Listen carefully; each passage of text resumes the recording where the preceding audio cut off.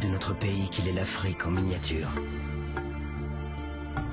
Au centre, du nord au sud, de l'est à l'ouest, sa plus grande richesse, ce sont ses hommes et ses femmes. Nous sommes tous différents, mais ensemble nous partageons le même sentiment.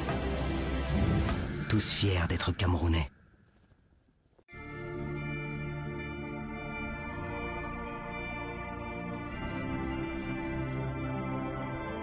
On dit de notre pays qu'il est l'Afrique en miniature.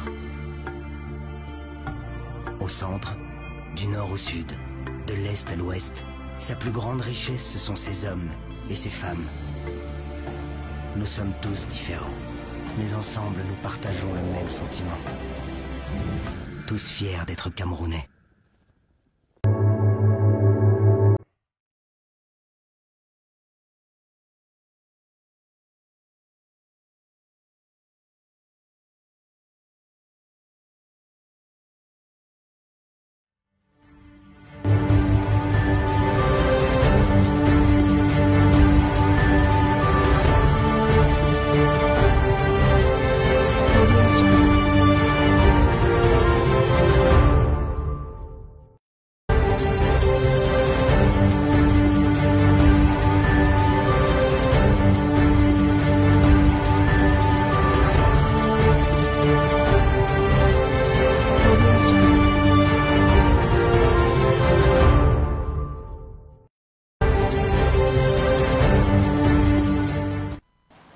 Selon l'Organisation internationale des migrants, 25 Africains meurent chaque jour dans le désert.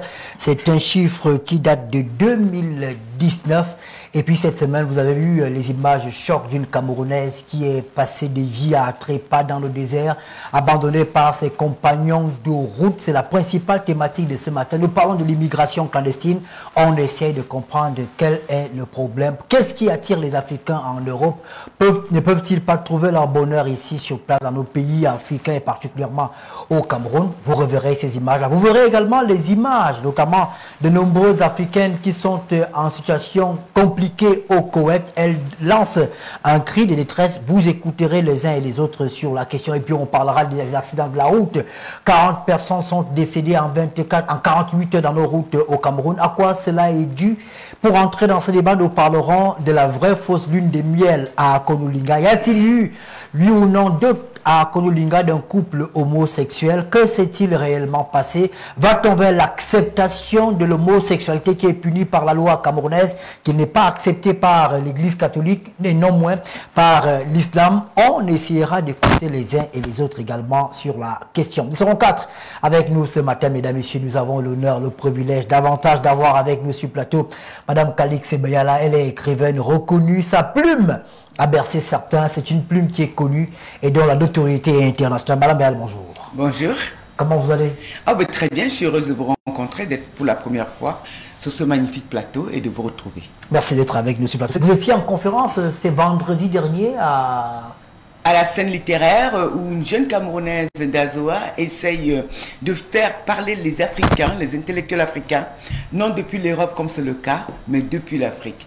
Et ça, ça devient intéressant parce que c'est une autre vision.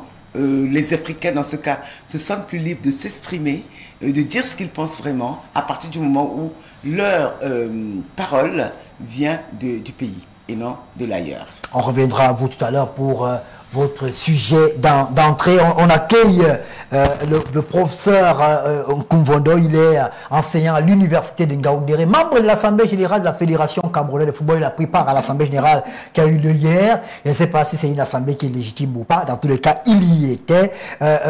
C'était le, c'est le capitaine du parti Univers. Prof, bonjour. Oui, bonjour à vous, bonjour à vos téléspectateurs qui, pour l'occasion, sont aussi les miens. Merci euh, d'avoir pensé à m'inviter.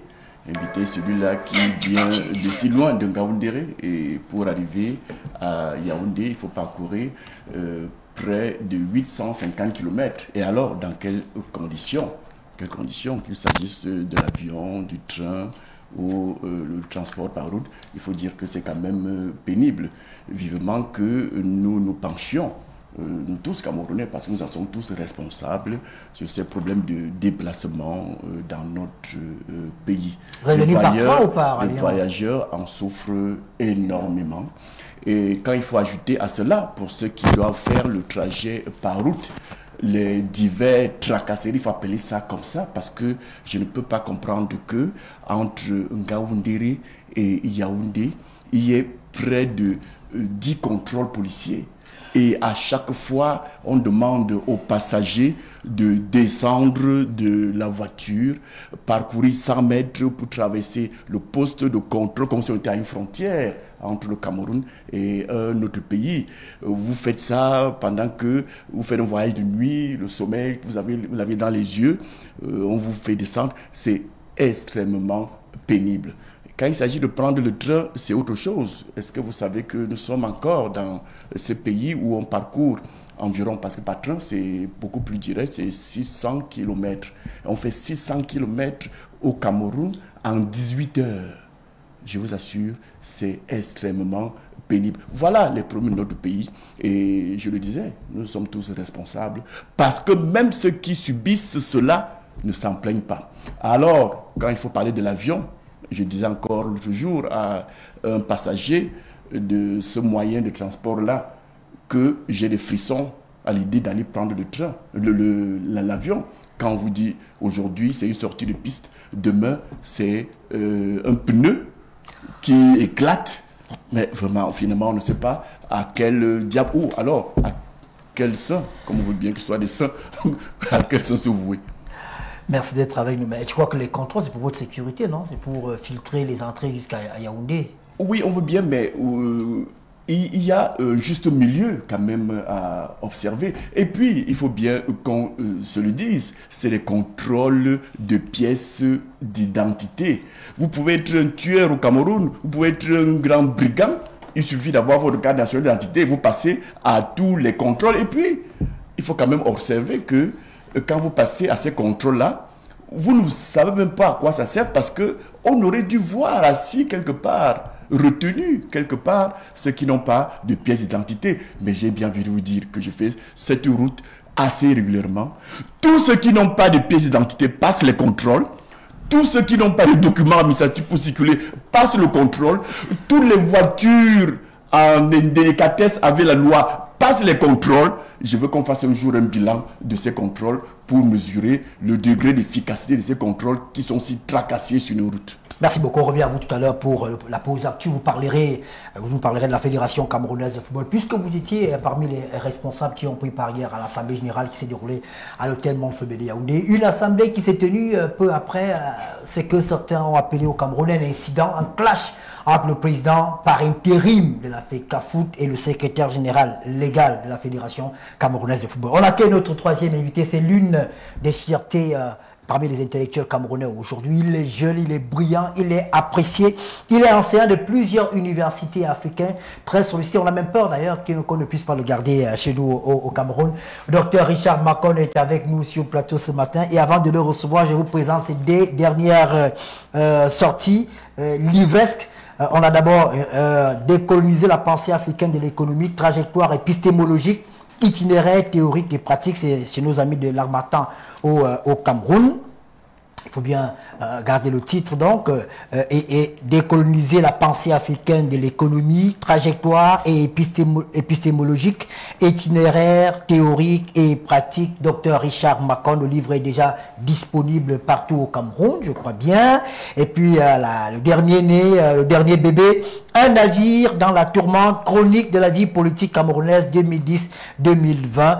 C'est bien d'avoir de lire ces livres parce qu'avec ça, vous qui aimez les discussions les commentaires au quartier. Ça vous permet d'avoir des repères euh, épistémologiques et surtout euh, de, séjourner dans le travail de recherche qui a été fait par le docteur Richard Macon. Il est, universitaire, mais il est toujours très beau. Docteur Richard Macon, bonjour. Bonjour Agnès, bonjour euh, à Madame Beyala, bonjour à mon aîné, le professeur Koumvondo, que j'ai grand plaisir de retrouver à la, la vertu de cet échange. Bonjour à tes millions de téléspectateurs que je retrouve ce matin avec beaucoup de plaisir. Il y a, Edmond Sokodjou sur la page Facebook qui dit Richard Macron, l'un des rares intellectuels lucides encore sur le marché camerounais. Alors, parlant d'intellectualisme ou d'intellectualité, oh, cette semaine, vous étiez en, conférence à l'Université de Yaoundé 1, l'Afrique au-delà de la France-Afrique. C'était quoi, On ne comprend pas, hein, nous autres néophytes. Qu'est-ce que, qu'est-ce vous voulez Quel était l'objet de cette conférence et, qu'est-ce qu'on apprend globalement?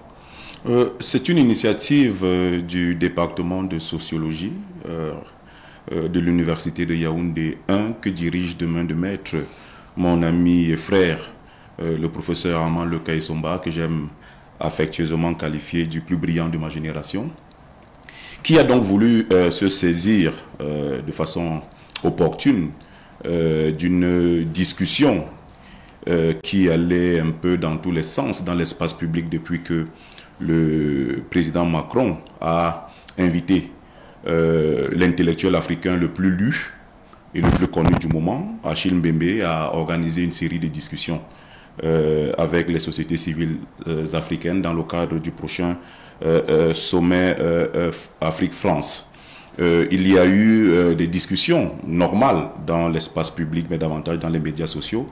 Et euh, il revient à l'université de se saisir de toutes les discussions, de toutes les préoccupations de la communauté afin de les intelliger à partir des grilles d'analyse qui sont des grilles d'analyse scientifiques. Et donc, à, l'occasion de la clôture des activités du centre de recherche que le professeur Armand Leca et Somba préside en même temps qu'il dirige euh, le département de sociologie. Il a voulu euh, se saisir de ce sujet pour qu'il y ait une discussion pluridisciplinaire, interdisciplinaire et transdisciplinaire euh, sur cette question, mais en l'intégrant dans une perspective plus globale. Euh, penser l'Afrique par-delà la France-Afrique. C'était donc la thématique générale. Et il revenait donc à tous euh, les experts et intellectuels invités, sociologues, philosophes, historiens, juristes, diplomates, euh, journalistes même aussi, de discuter de cette problématique, chacun selon sa propre perspective. Et moi, en ce qui me concerne, je ne vais pas cacher mon approbation pour cette discussion. Euh, je trouve que euh, partout où euh, il est question de discuter, c'est toujours bien. Partout où on invite des gens à la discussion, il me semble que c'est bien. le débat aujourd'hui n'est pas de savoir s'il faut discuter avec la France. Je pense que pour que le président Paul Biya discute avec la France, il ne demande l'avis de personne. les gouvernements sont en permanente discussion et là je parle de la discussion entre deux gouvernements. Et là, c'est euh, la dimension institutionnelle de la discussion. Euh, ces discussions sont permanentes quand on connaît l'histoire, la trajectoire des relations entre la France et l'Afrique, et davantage la France et euh, l'espace francophone, et davantage encore les discussions entre les relations entre la France et le Cameroun. Ces discussions sont permanentes. le vrai débat aujourd'hui, c'est de se demander comment aujourd'hui imaginer des logiques de discussion qui soient nouvelles, qui euh, dépasse justement euh, la France, euh, la France-Afrique des collusions et des collisions pour envisager maintenant les relations dans le sens de la profitabilité de cette relation pour nos deux peuples. Quand vous êtes en discussion avec les Français d'en bas, ils sont en totale distanciation ou en totale rupture avec la France institutionnelle et ne perçoivent pas justement la relation France-Afrique, en tout cas les logiques d'intervention de la France de la même façon que les institutionnels les perçoivent. On a vu une montée euh, de reprobation, par exemple par rapport à la dernière sortie euh, du président Macron, d'abord par rapport à sa politique avec le Mali, puis par rapport à son, sa stratégie avec le Tchad, qui est totalement incompréhensible. il est important aujourd'hui qu'on puisse discuter de ces questions, mais dans un esprit de responsabilité.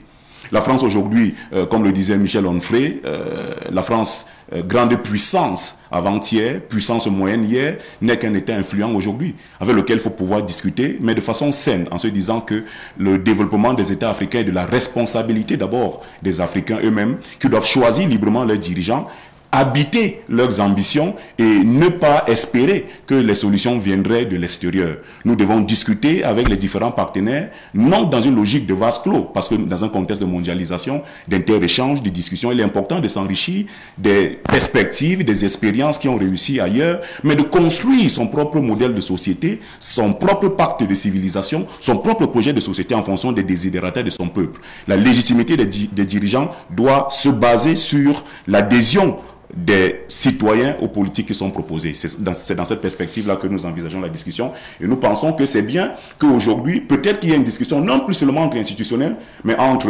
les français, même s'ils sont représentés par le gouvernement français, mais aussi qu'on puisse entendre les voix des sociétés civiles africaines. On a longtemps eu des sommets France-Afrique uniquement entre les institutionnels, ça ne nous a rien apporté, c'est peut-être autre chose. Merci. C'était, euh, je présume que c'était euh, l'endroit où être, hein, cette conférence-là. Malheureusement, je n'ai pas été invité par le professeur Lekassi. Les perspectives étaient différentes, ouais. mais on a eu une discussion saine. Et je crois que c'est en cela la vertu de la discussion. On dépasse euh, les anathèmes, les attaques de personnes pour rester sur euh, les questions des idées. On avait des points de vue totalement diver divergents sur la question, mais on a eu une discussion saine et respectueuse et à la fin, euh, on peut dire qu'il était utile de discuter et tout le monde est parti en remerciant cette initiative du département de sociologie car on retrouve ainsi les vertus de l'université qui sont en réalité le creuset de la discussion, de la tolérance et de l'acceptation du point de vue contraire. Merci beaucoup. C'était votre sujet d'entrée, euh, docteur Richard Macon. Madame Béal, avec vous, on doit un mot sur les, les discours haineux sur euh, l'actuel au Cameroun. On, a vu les sorties de Patrice Ngana euh, qui appelle à l'extermination d'une certaine ethnie ou d'un groupe ethnique. Euh, quel est le regard que vous portez aujourd'hui sur l'inflation des discours haineux et notamment sur euh, les moyens qui sont mis en place par l'État camerounais, par le gouvernement, notamment la mise en place de la Commission nationale pour le bilinguisme et le multiculturalisme qui a entamé une campagne de lutte contre ces discours haineux-là? Est-ce que c'est suffisant selon vous? Mais écoutez, je pense que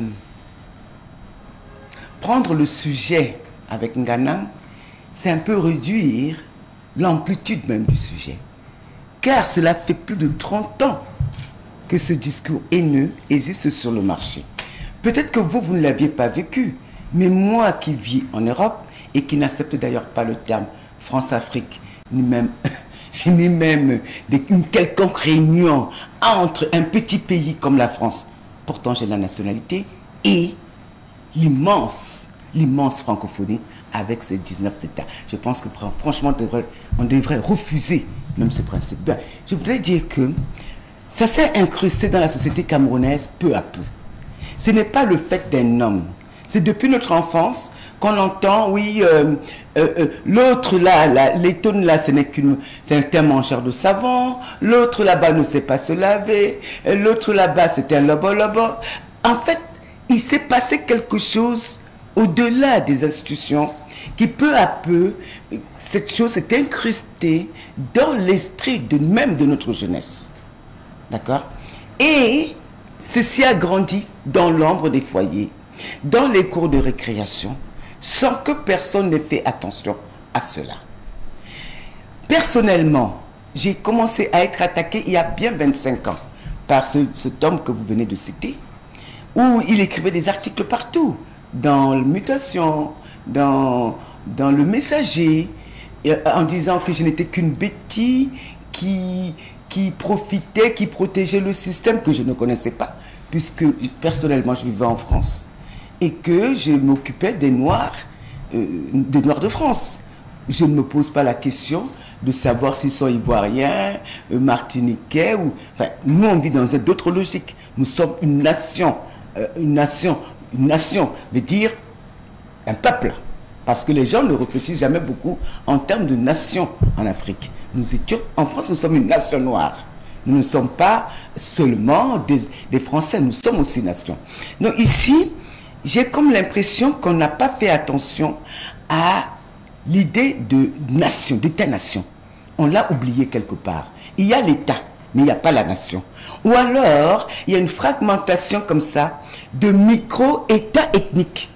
C'est comme ça que je qualifierais le Cameroun aujourd'hui. Et qui s'est mis en place et effectivement, avec les élections de 2018, tout ceci a pris de l'amplitude. Par exemple, le terme chassement que vous découvrez en 2018, personnellement, je le découvre peut-être 7-8 ans plus tôt. Parce que même si je ne dis rien, je surveille tous les intellectuels camerounais et africains. Vous les surveillez? Oui. ah oui, oui, je ne dis rien. Je ne vais pas écrire. Je veux savoir où ils en sont, ce qu'ils pensent. D'accord? Et donc, c'est là où je vois apparaître chez, chez cet homme-là, dont je ne prononce jamais le nom, le terme chassement, qui était d'abord un chassement de, de Betty pour devenir après un chassement de Boulou. Mais c'était d'abord un chassement de Betty où il appelait à... Même moi, il a appelé à me à m'assassiner. Je ne lui ai rien fait. Je ne participe pas du pouvoir. Je, n'ai- je ne suis qu'un écrivain. Donc, je veux dire qu'il n'y a pas que vis-à-vis de moi qu'il a cette haine. hein. Il a aussi cette haine vis-à-vis d'un autre. Vous avez cité son nom tout à l'heure, là. Voilà. Il a aussi cette même haine. hein. Ah oui, oui, oui, oui. Euh, euh, je pense que s'il y a deux Camerounais qu'il n'aime vraiment pas, c'est nous deux. Donc, et- et- non, non, non, non, non, vraiment. Mais vraiment, c'est-à-dire avec euh, des moyens de... où il appelle carrément les gens et il leur dit, si vous croisez Madame Beyala et que vous la giflez, contactez-moi inbox et vous aurez votre récompense. Ça va très très loin. Donc, cette chose-là qui a été mise en place a été négligée d'abord par les États. On a d'abord cru que c'était peut-être un fou qui le faisait, mais sauf que ça, ça imprégnait les sociétés petit à petit jusqu'à devenir ce que c'est aujourd'hui. Aujourd'hui, les Camerounais, j'ai comme l'impression qu'ils vivent, vivent côte à côte. Ils ne vivent pas ensemble. Et c'est de la faute de tout le monde. Je m'explique. J'observe une société où les week-ends, au lieu d'inviter des amis à aller pique-niquer ou aller dîner, les gens sont dans des tontines. Et tout le monde Mais c'est africain, non, les tontines? Oui. Est-ce que pique-nique et autres là, je ne sais pas si en Afrique on tontine. Mais on peut faire aussi des tontines avec d'autres communautés nationales. On peut faire des tontines avec les Bétis, les Bassa, les Douala, les Bamileke. Or là, la tontine devient quelque chose, de, un marqueur ethnique. Donc, Je, je- je vais- je suis désolé. Et je, le- moi, je le vis. Moi, j'ai essayé quand je suis arrivé au Cameroun de recréer cette ambiance qu'on a, par exemple, à Paris, où j'ai invité les intellectuels camerounais. Je ne me, je me préoccupe pas de savoir des chanteurs, des, des musiciens, des écrivains, de savoir s'ils sont euh, Babeleke, Bassa, Douala. Mais ça ne prend pas parce que il- ça s'est vraiment ancré dans les esprits. Il y a tout un travail hein, qui conviendrait de faire pour, euh, comment dirais-je, désethniser le pays. Il y a des expressions que j'entends et qui, moi, me gênent. Par, exemple, aussi bien je condamne euh, euh, euh, tous ceux qui tiennent ce discours euh, euh, raciste, tribaliste euh, et, et ethnicisant et appelant au, au- à- au meurtre de, de- de l'autre. Autant, par exemple, une, une expression qui me gêne beaucoup, qui est l'expression ethnofascisme. J'ai beaucoup réfléchi à cette expression. Je me suis dit que ça ne renvoyait à rien. Parce que quand vous prenez l'expression euh, euh, euh, fascisme, créée par incarné par Mussolini dans les années 30, c'était c'était très politique. Ça voulait tout simplement dire que bon ben il parlait de l'homme puissant, l'homme blanc fort, Suprématie. c'est- Oui, mais ça ne voulait pas, ça n'incluait pas une notion ethnique. Ce qui se passe au Cameroun C'est peut-être pour ça qu'on a composé, hein, on parle d'ethnofascisme. oui, mais c'est trop.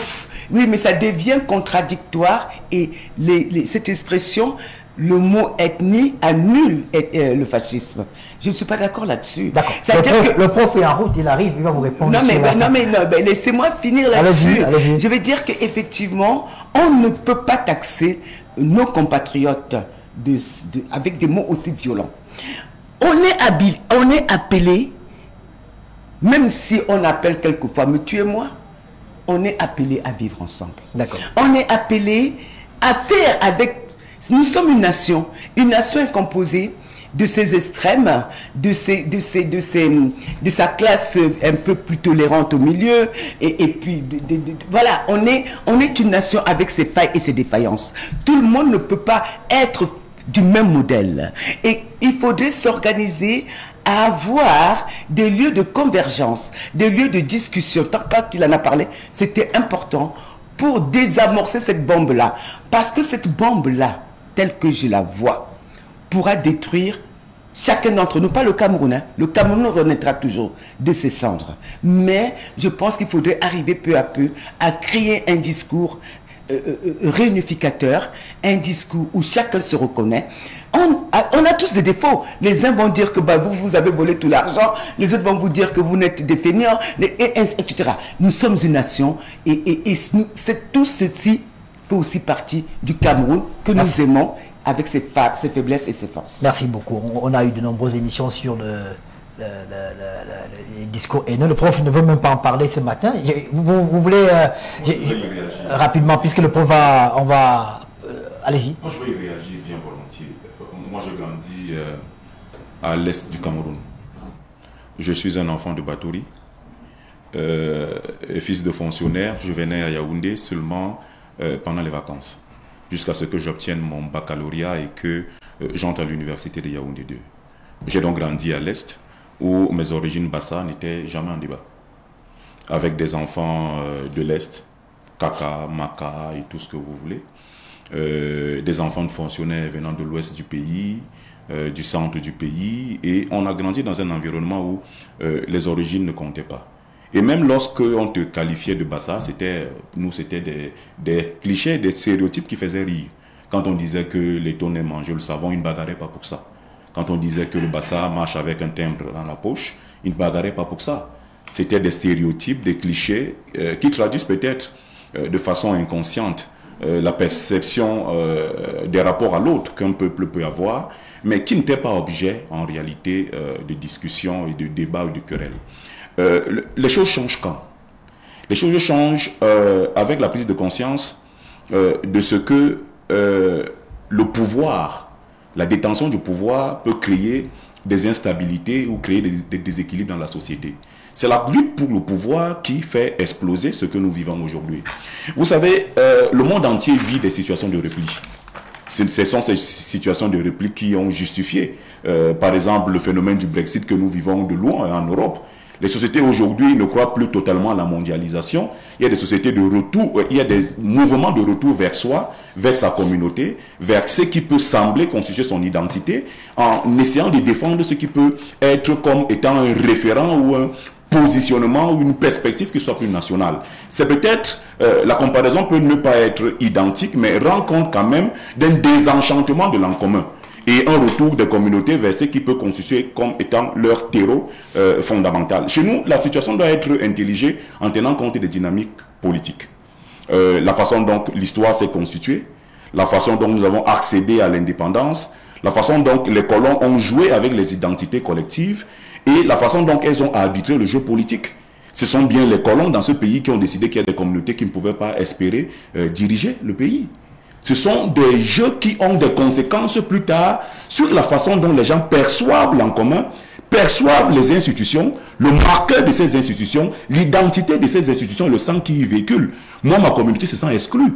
Et ça, il faut pouvoir le dire sans être dans une logique de sortir des institutions. Mais c'est la construction de notre histoire politique et il faut avoir le courage de l'assumer. Si vous ajoutez à cette histoire qui est querellée, sur laquelle on ne s'entend pas, vous ajoutez les défaillances de l'ordre gouvernant dans la gestion de la diversité, avec les politiques d'équilibre régional, qui peut-être étant une bonne intuition, n'ont jamais été bien matérialisé, bien géré. Regardez ce que l'équilibre régional a, généré aujourd'hui. Vous avez des départements qui ne font pas 2 millions d'habitants, qui ont à eux seuls une dizaine de directeurs généraux, 4 ministres par-ci, par-là, des communautés, quand on regarde de leur poids démographique, ne sont même pas représentés dans l'appareil gouvernant et les, fonctions d'autorité par même 1% euh, des, cadres qui interviennent. C'est une gestion approximative de l'équilibre régional qui a des conséquences sur la façon dont les gens conçoivent l'État, comprennent l'État, qui devient ici un instrument de division et un instrument de, de, de, de maltraitance entre guillemets des autres communautés. Et ça, il faut le dire parce que ça, c'est la vérité. Il revient maintenant à notre communauté de regarder la façon dont les choses se gèrent. Quand vous regardez même la façon dont la carte politique est organisée, qu'est-ce qui peut justifier qu'une euh, communauté qui a tel nombre, une localité qui a tel nombre d'habitants puisse avoir par exemple deux sous, euh, une sous-préfecture, euh, deux mairies, alors qu'une autre communauté très faiblement peuplée peut avoir dans la, cartographie politique une dizaine de, de, communes et, et, autres choses. Je crois que c'est la façon dont... Madame, madame, s'il vous plaît, ayez la correction de me laisser terminer mon propos. C'était mon sujet. C'est la correction de me terminer mon C'était mon sujet, je n'ai pas... Et, réagir, il n'y a pas Je dis, cette défaillance de la gestion de la diversité dans notre pays crée des frustrations qui sont utilisé, instrumentalisé par les acteurs politiques de différentes façons. Il revient aujourd'hui d'envisager l'en commun en le discutant. Dans une perspective globale, en considérant aujourd'hui, dans un phénomène où on va vers une fin de règne, que vous le vouliez ou pas, les gens utilisent tout ce qui peut leur permettre de se positionner, même si cela peut fracturer en réalité le lien social et diviser davantage les Camerounais. la configuration des partis politiques, qui sont pour l'essentiel des partis identitaires, tout cela a des conséquences sur le vivre ensemble. Il faut donc aujourd'hui qu'on ait le courage d'affronter la situation sans indéni, sans déni, en se demandant aujourd'hui quelle est la meilleure manière de construire un vivre ensemble commun dans le respect de la divergence, dans le respect de la diversité, afin que toutes les filles et tous les fils de la République se sentent concernés par la façon dont le projet national est envisagé. Dans l'équité. Vous voulez réagir rapidement parce, oui, bah, parce que c'était effectivement mon sujet. Je ne sais pas pourquoi il a été... je n'ai pas voulu commenter son sujet. Donc, J'ai intervenu parce que... Non, non, non, parce que... Il m'avait demandé... Je ne pas intervenir sur vos sujets. pas dans ce qu'il dit. Dans ce qu'il dit, il n'y a pas la notion d'État-nation. Il y a la notion de communauté. Et s'il y a des notions de communauté, allons dans ce cas vers le fédéralisme chacun trouvera plus son compte. Or, pour l'instant, le Cameroun se veut un État euh, euh, unitaire. Moi, je ne me sens pas gêné d'être représenté par un Bassa, un Douala, un Bamileke ou quelqu'un d'autre. Je vais dire, c'est ça. Là, vous voulez nous enfermer dans les identités. Et moi, je vous demande de transcender les identités. Parce que demain la, monsieur... La question qu'il posait, est-ce que les, les, les, les, problématiques, tout au moins, on parle d'équilibre régional, est-ce que cela ne renforce pas le, repli en question si... Ben, l'équilibre régional, moi, en tant qu'étonne, je dirais que je n'ai rien.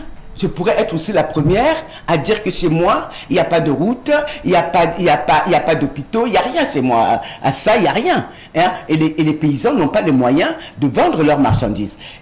Mais je peux il faut sortir de la communauté. Moi, je propose le Cameroun aille vers ce qu'on appelle un, État-nation.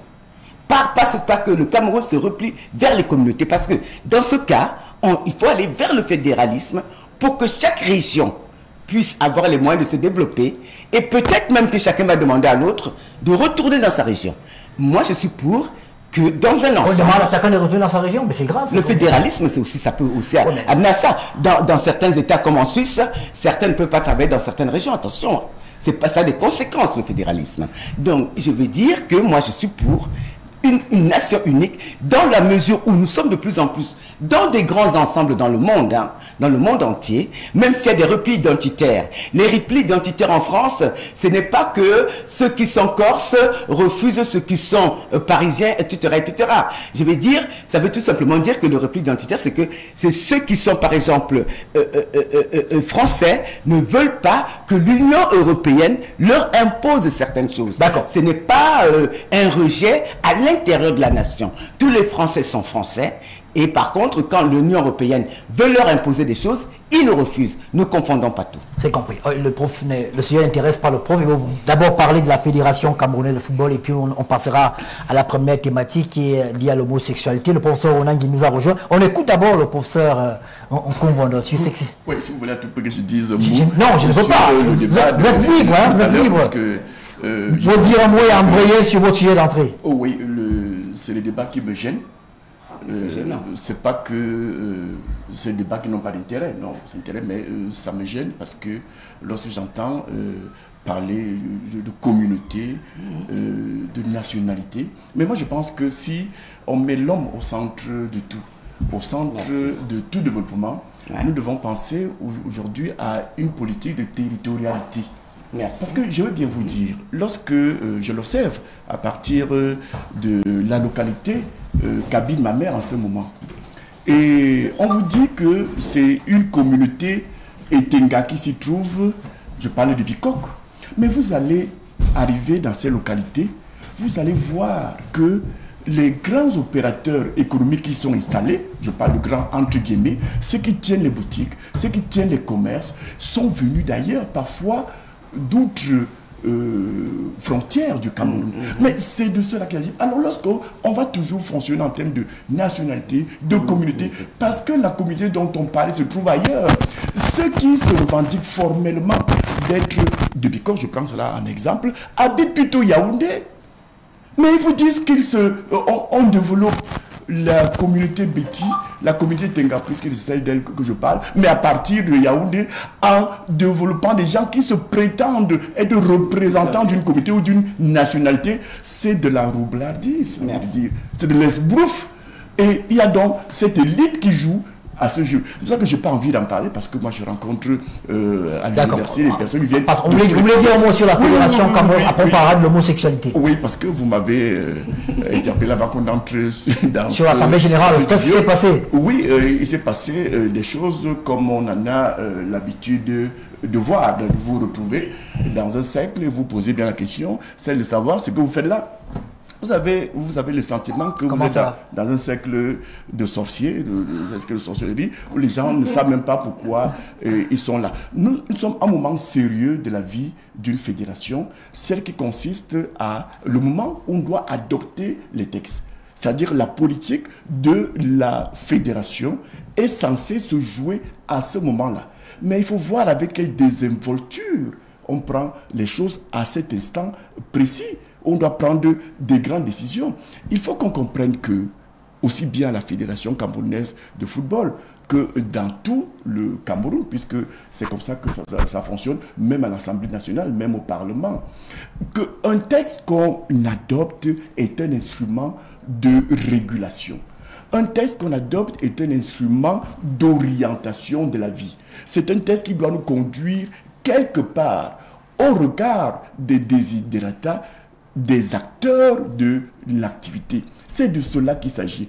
Et le texte qu'on adopte doit donc être en quelque sorte la figure de ce que nous euh, recherchons. C'est pas le cas? Dès lors que on ne sait même pas quelle est la politique qui est mise en place, quels sont les objectifs recherchés par les textes qu'on adopte, on se contente de vous dire que on a pris euh, les directives de la FIFA et on les a seulement euh, mises en forme et qu'il ne faut pas les violer. Et je peux vous dire que ça va dans tous les sens. Permettez-moi de dire euh, sur un point au moins sur, sur lequel je tiens à exprimer ma gêne. Je ne vois pas, je suis gêné de le dire, des Camerounais qui s'asseyent dans une salle et qui décide que le contentieux à la FECAFOOT, une fois qu'on a épuisé le voie de recours, ne sera géré que par le tribunal arbitral du sport à la Lausanne en Suisse. Ignorant, méprisant, ayant même de la haine. Voilà la haine. La haine pour nos institutions. Et la chambre de conciliation d'arbitrage ne sert plus à rien? C'est pas qu'elle ne sert à rien. Il est dit euh, dans cet article 73 que j'ai décrié depuis la dernière assemblée pour aller en arbitrage devant cette chambre, on demande aux deux acteurs du conflit de s'accorder. Oui, c'est le principe en matière d'arbitrage. Sauf que cela n'est valable que pour l'institution d'arbitrage du Cameroun.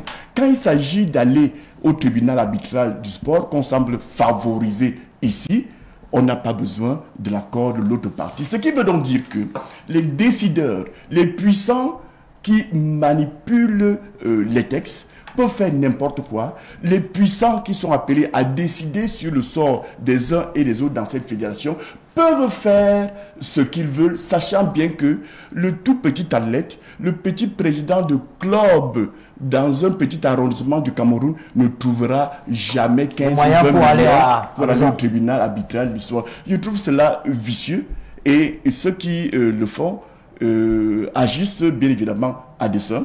C'est dans des buts qui sont autres que ceux du développement du sport au Cameroun. Je me devais donc de le dire et je crois que vous avez une question pour moi. Pour, euh, la question vous voulez que je parle de quoi après ça? Vous avez, vous avez répondu à la question déjà. On prend une respiration, la on se retrouve derrière.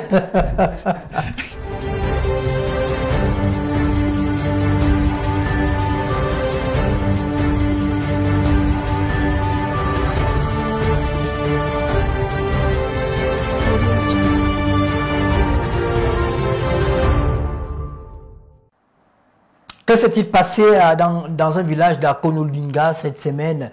Une certaine presse a annoncé la dot d'un Camerounais, un certain Bengono. Euh, d'autres reportages ont été faits là-bas, mais on a mené notre enquête nous aussi. Et ce qu'on a pu savoir, c'est que Le monsieur Bongona est venu au Cameroun avec son mari, puisqu'il est légalement marié à un Européen. Il ne s'agit pas d'un Suisse, mais plutôt d'un Français. Ils sont donc venus au Cameroun pour assister au mariage de l'une de ses filles, qui n'est autre que euh, sa nièce, c'est qui est. Et de- depuis lors, il y a- la, la toile explose, on entend tout. Certains parlent de l'acceptation de l'homosexualité au Cameroun. Professeur, vous nous avez rejoint, bonjour déjà, ça va? Vous étiez à Douala, Oui, ça s'est bien passé à Douala? C'est bien passé. Voilà, on voit que vous venez juste de descendre de votre... votre vous pour euh, l'Assemblée générale d'un parti politique. Oui, entre autres. Vous avez votre carte de militant Non, je ne suis pas allé là-bas en tant que militant. Je suis allé parce qu'on m'a demandé une contribution intellectuelle sur comment gouverner Douala. Bon, par ailleurs, j'étais à l'installation du chef traditionnel de troisième degré, Sa Majesté Soso Makembe II, autrement connu sous le nom de Maurice Aurélien Soso, qui est recteur de l'université de Yaoundé. Votre patron. Oui, C'est votre patron alors tout à fait. D'accord, merci. Retour sur le plateau. Alors, euh, on va, on va d'abord passer la parole à la seule dame qu'on a sur le plateau, euh, sur cette question qu'on a eue cette semaine, Madame Béala. Euh, les images ont fait le tour de la... J'espère que vous me donnerez l'opportunité de revenir un peu sur ce que j'ai entendu en venant, Ah, je savais. L'ethnofascisme entre autres. Ben, Oui, j'ai- une question, j'ai un problème avec le Oui, temps. mais Commencez Bon. avec ça peut-être. Ben, allez-y, allez-y, prof. Allons-y rapidement. Oui, bon, euh, Que je comprenne parce que. Vous le suivez sur le téléphone oui, oui, oui. oui. D'accord. Je crois que le, le thème, il y a beaucoup d'hypocrisie dans la société camerounaise, beaucoup. Et un consensualisme hypocrite qui cache de larges fractures et de forts fractionnements. Le Cameroun est par définition un pays de diversité. Mais la diversité ne signifie pas nécessairement ni inéluctablement le conflit. Par contre, si on l'organise mal, et l'organisation ne vient pas que de l'État, comme je l'ai entendu, le problème, il est d'abord dans la société camerounaise, avant d'être dans l'État, euh, ça peut évidemment créer des conflits. Les nationalités sont là, les communautés sont là, et le Cameroun, ni le Cameroun, ni l'Afrique n'en ont le monopole dans tous les pays du monde, même ceux qui ont développé une tradition universaliste dure à la française par exemple, à travers l'intégrationnisme et l'assimilationnisme, ils sont toujours confrontés au phénomène de communauté, d'ailleurs dans un déni terrible. Je suis quand même étonné d'entendre Madame Beyala, dont on sait les combats qu'elle a pu mener en France hein, pour rendre visibles les, Les invisibles, minorités, les minorités. euh, de, de faire comme si le communautarisme n'existait pas. Il existe partout. Maintenant, il y a sa régulation. Et c'est sur la régulation qu'il faut peut-être s'entendre. Bon, comme on n'a pas le temps, je passe au suivant. Madame, le- l'ethnofascisme est une forme du fascisme. Le fascisme ne se cantonne pas au fascisme de type ethnique, encore que le fascisme de type racial n'est pas très différent du fascisme de type ethnique, ce sont les mêmes principes. Dans cette logique, quelqu'un considère que le seul fait d'appartenir à telle ou à telle communauté lui donne une supériorité ontologique, biologique, naturelle sur les autres groupes en raison de son appartenance. Et ce n'est pas une simple affaire de perception, parce que le tribalisme ordinaire, s'il faut l'appeler comme ça, il a toujours existé, il existera toujours. Par contre, les non-fascistes, ce n'est pas ça. Les non-fascisme, c'est la doctrine. Ça veut dire que mon sentiment de supériorité sur les autres, je l'écris. Je le mets en doctrine, je le théorise. Et c'est là qu'il y a le problème. Le deuxième problème du Cameroun, c'est les ethnopopulismes. Ça veut dire précisément que comme les nationalités sont des totalités, elles peuvent prétendre à la souveraineté, d'où la prolifération d'un ensemble de groupes qui demandent aujourd'hui une forme d'organisation qui correspond en fait à l'éclatement du Cameroun. Chacun veut son petit État, son petit bantoustan. dans son interprétation simpliste et basique. Bon, voilà un peu ce que je pouvais dire comme on a déjà passé. On a, on a vraiment, je pense qu'on aura du mal à parler des accidents de la route. Donc, on va permettre à chacun de dire un mot sur cette. euh, euh, sur le- je, je confesse que j'ai du mal à parler des sujets liés à l'homosexualité parce que après ça vous cause trop de problèmes. Et euh, même on a un fait. Il fallait donc pas mettre ça. euh, Il y, a, il y a un fait qui intéresse les Camerounais. Et C'est bien d'écouter les éclaireurs que vous êtes, parce que vous êtes des intellectuels, et votre avis compte sur la question. Madame Béala, vous d'abord, il n'y a pas eu d'autres dans ce village de Konolinga. Je vous dis, je ne suis pas en train de poser la question, je dis donc qu'il n'y a pas eu de deux dans ce village à Konolinga, mais par contre, on a quand même accepté qu'un couple arrive et qu'on sait que le couple en question est homosexuel. Est-ce qu'on peut interpréter cela comme une sorte de, d'embryon, pas embryon, on pose dans les jalons l'acceptation de l'homosexualité au Cameroun Écoutez, je pense qu'il y a beaucoup d'hypocrisie justement autour de ce sujet au Cameroun. C'est une société où il y a énormément d'homosexuels qui effectivement... Ah oui. Ah oui, excusez-moi. Vous, avez les épreuves de ce que vous dites Oui, oui, oui mais je veux pas... une déclaration en l'air. Non, c'est pas une déclaration en l'air. Il y a énormément de Camerounais, même homosexuels en France notamment. Il y, a, il y a des Camerounais homosexuels. Il y a d'autres Africains qui sont des homosexuels. Qu'est-ce qu'on fait? Est-ce qu'on continue à dire que l'homosexualité est une euh, chose venue d'ailleurs, qu'on nous a imposée? Je pense que ben, non. Parce que dans certaines sociétés traditionnelles, il y a l'homosexualité liée à l'initiation, déjà. Voilà. Donc, Liée à l'initiation de quoi? Ben, À l'initiation traditionnelle. Je veux dire que, je veux dire que nous sommes devant un fait. Qu'est-ce qu'on fait de nos enfants qui sont des homosexuels? On les tue, on les chasse. Est-ce que c'est parce que vous allez dire que ça n'existe pas? La négation d'une chose ne, ne, pas disparaître la chose. Je veux dire qu'effectivement, il y, a, il des homosexuels au Cameroun et il faut trouver le moyen de, de protéger même les femmes. Parce qu'il y a énormément de femmes qui m'ont parlé, par exemple qui ont épousé des hommes homosexuels sans le savoir et qui le découvrent après le mariage. Elles en souffrent énormément et ça c'est une réalité. Ce ne sont pas avec les déclamations que nous allons pouvoir endiguer le phénomène, mais peut-être en mettant un peu de lumière sur le sujet. Hein. Je veux dire que si la société traditionnelle a pu accepter qu'un homme marié avec un autre homme, j'ai vu les photos, ils étaient quand même assis là, c'est qu'on les a quand même acceptés, d'autres ou pas d'autres. On ne les a pas chassés. S'il y avait eu euh, un... il y a une forme d'acceptation dans ce village-là. Mais ce n'est pas seulement dans ce village, il y a beaucoup de villages où ça se passe, où des couples homosexuels viennent et sont acceptés par leur famille. Vous voulez que, qu'est-ce que vous voulez qu'une mère fasse, par exemple Une mère découvre que son fils est homosexuel. Qu'est-ce qu'elle fait? Elle va le rejeter parce qu'il est homosexuel. Non, elle est obligée d'aimer son enfant. Vous voulez, vous voulez amener les gens à lyncher les homosexuels. Moi, je pense qu'il faudrait trouver le moyen, sans pour autant euh, euh, euh, légaliser, puisqu'on n'en est pas là-bas, mais laisser les gens être libres. Moi, c'est mon point de vue. Hein. D'accord. Donc, vous êtes favorable à la, dépénalisation de l'homosexualité. Oui, je suis totalement favorable à la dépénalisation parce que on a ramassé l'autre jour euh, ce petit gamin là qui transsexuel. Ah, voilà, Shakiro. Shakiro, on est parti l'enfermer avec son petit copain. C'était assez pathétique. Même pour le pays, on, on l'a vite libéré parce que ça, ça renvoie une image d'intolérance. Il y a des enfants qui naissent vraiment homosexuel. Je ne parle pas de cette homosexualité magique dont on m'a parlé ici. Je parle de ces enfants qui naissent avec les deux sexes. Ça arrive dans toutes les sociétés. C'est pas parce que c'est de la... Qu'appelez-vous des considérations euh, religieuses, par exemple? On sait que l'Église catholique euh, punit, euh, condamne l'homosexualité, même l'islam.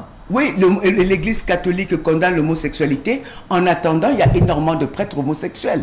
On a eu, euh, on a même peut-être eu la démission d'un pape lié à ce, à ce phénomène-là. Euh, euh, il y a eu énormément de scandales liés à l'homosexualité dans les églises. la pédophilie, notamment. On ne peut pas dire que ça n'a pas existé. D'accord. Qu'on ne peut pas dire que... Il y, a, il y a le mot prononcé, il y a les mots prononcés, et il y a la réalité il y a une dichotomie entre le, désir des peuples et des civilisations et la réalité du vécu de ces peuples-là. Voilà, c'est tout ce qui se passe. Est-ce qu'à un moment donné, on va accepter que tout ceci soit coordonné? Oui ou non? Est-ce qu'on doit continuer à faire comme s'il n'y avait pas d'homosexuels au Cameroun?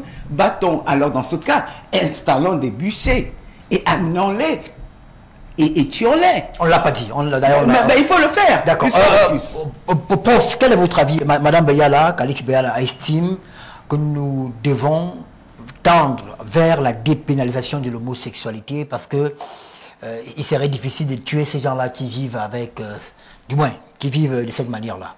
Oui, l'homosexualité, pour moi, est incontestablement une déviance sexuelle, une déviance comportementale. Parfois, je me demande comment est-ce que... Moi, je ne le suis pas. Euh, pour être rassuré. Mais parfois, je me demande comment ça se passe. Comment est-ce que Quoi? un homme, est, un homme est, un homme est, mais ceci dit, euh, si, on- si nous considérons que le mot saleté est un mal, donc un mal comportemental, euh, il faut savoir que le bien et le mal, depuis la nuit des temps, ont toujours coexisté. C'est aussi vieux que le monde. Euh, il y aura toujours des voleurs, des personnes euh, honnêtes, des personnes malhonnêtes. Il y aura toujours euh, des femmes correctes, des prostituées. Ça, c'est aussi vieux que le monde. Mais il est quand même important que nous comprenons, et c'est là où se trouve la déviance, que je ne sais pas quel organe, quel appareil ces gens utilisent, mais si on s'en tient à ce qu'on nous dit et ce qu'on peut voir à travers certaines images, on a quand même envie de dire que euh, la bouche, chaque organe euh, a une fonction dans, euh, dans le corps humain. La bouche ne saurait être un instrument de sexualité. Non, le, le rectum ne saurait être a une autre fonction que la nature lui a attribué. Les doigts que nous avons ont une autre fonction. C'est des instruments qui doivent servir à autre chose. Et qu'on utilise des organes faits pour une chose à d'autres fins, notamment à des fins sexuelles, la nature a bien prévu ce qui doivent être utilisé dans le cadre sexuel. Ça s'appelle le sexe.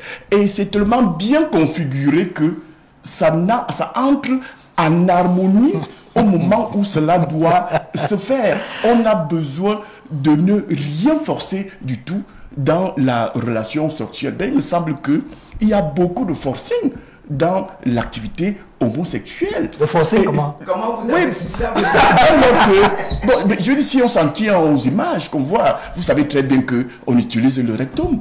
Le rectum est fait pour éjecter et non pour, pour recevoir quoi que ce soit en dehors des suppositoires. Et d'ailleurs, les suppositoires ont été conçus pour que ça puisse entrer aisément. Mais vous savez très bien que ces appareils-là, le corps humain qui entre par le rectum sont faits pour bousiller. Et c'est là le mal. C'est d'ailleurs pour ça que beaucoup de ceux qui se livrent à ces pratiques sont malades. Ils se rendent malades parce que le, le- là-bas, du, du- du derrière, là, on les voit parfois dans la rue marcher d'une façon qui n'est pas celle de ceux qui sont qui utilisent normalement leurs organes. Mais ceci dit, doit-on pour autant condamner celui que moi je considère comme étant malade Ces déviances-là, c'est pour moi c'est un mal. C'est une maladie. Il faut plutôt les soigner. Ce n'est pas en mettant un homosexuel en prison qu'il sortira de là et cessera d'être homosexuel. Je pense qu'il y a d'autres modes de régulation sociale, modes de régulation de nos comportements. Et je pense que si on arrive à l'extrême, c'est-à-dire à l'emprisonnement, à la sanction pénale, cela révèle que les autres modes de régulation ont échoué et nous devons nous en prendre à nous-mêmes. Je pense que euh, notre jeunesse, puisque on commence à la période de la jeunesse, a besoin d'éducation, a besoin de modèles, notamment de modèles de réussite. Lorsque nous-mêmes, sur les plateaux de télévision, à tort ou à raison, dans les chaînes de radio, nous faisons la promotion de ces pratiques en en parlant seulement. Mais il faut parler dans des cadres, dans un cadre d'éducation, dans un cadre de façonnement des mentalités, des comportements. Oui, vous avez euh, lancé le sujet relativement au mariage. Ce sont des choses qu'il faut cacher. Vous savez, le mariage a ceci de solennel, a de ce- ceci, ce- de ce que. On montre le comportement qu'on doit adopter. Mais lorsque je peux vous dire combien de fois j'ai été gêné parce que la première image que je découvre de ce monsieur, De ce couple? Ou de, de- de- de ce couple qui. Non, d'abord c'est le Camerounais. Ici, c'est qui les Camerounais Le- Oui, celui qui est de race noire, dans le, le- le couple dont vous parlez, qui est en train de danser. Et je me suis demandé, mais. il- oui, et il danse. Il, est, il danse comme euh, une femme, ou il danse euh, en sa qualité d'homme. Je n'en sais Mais il avait tous les filles. Et au-delà de sa personne, autour de lui, c'était l'extase. Je ne sais pas si c'est un groupe aussi de personnes menant les mêmes pratiques, mais tout le monde était joyeux. C'était la fête. Oui, mais il, il s'agit de ça. Il s'agit de ça. Bon, le sujet est sur la table. Il faut bien qu'on en parle. Et moi, je dis, euh, madame, je vous rejoins là-dessus.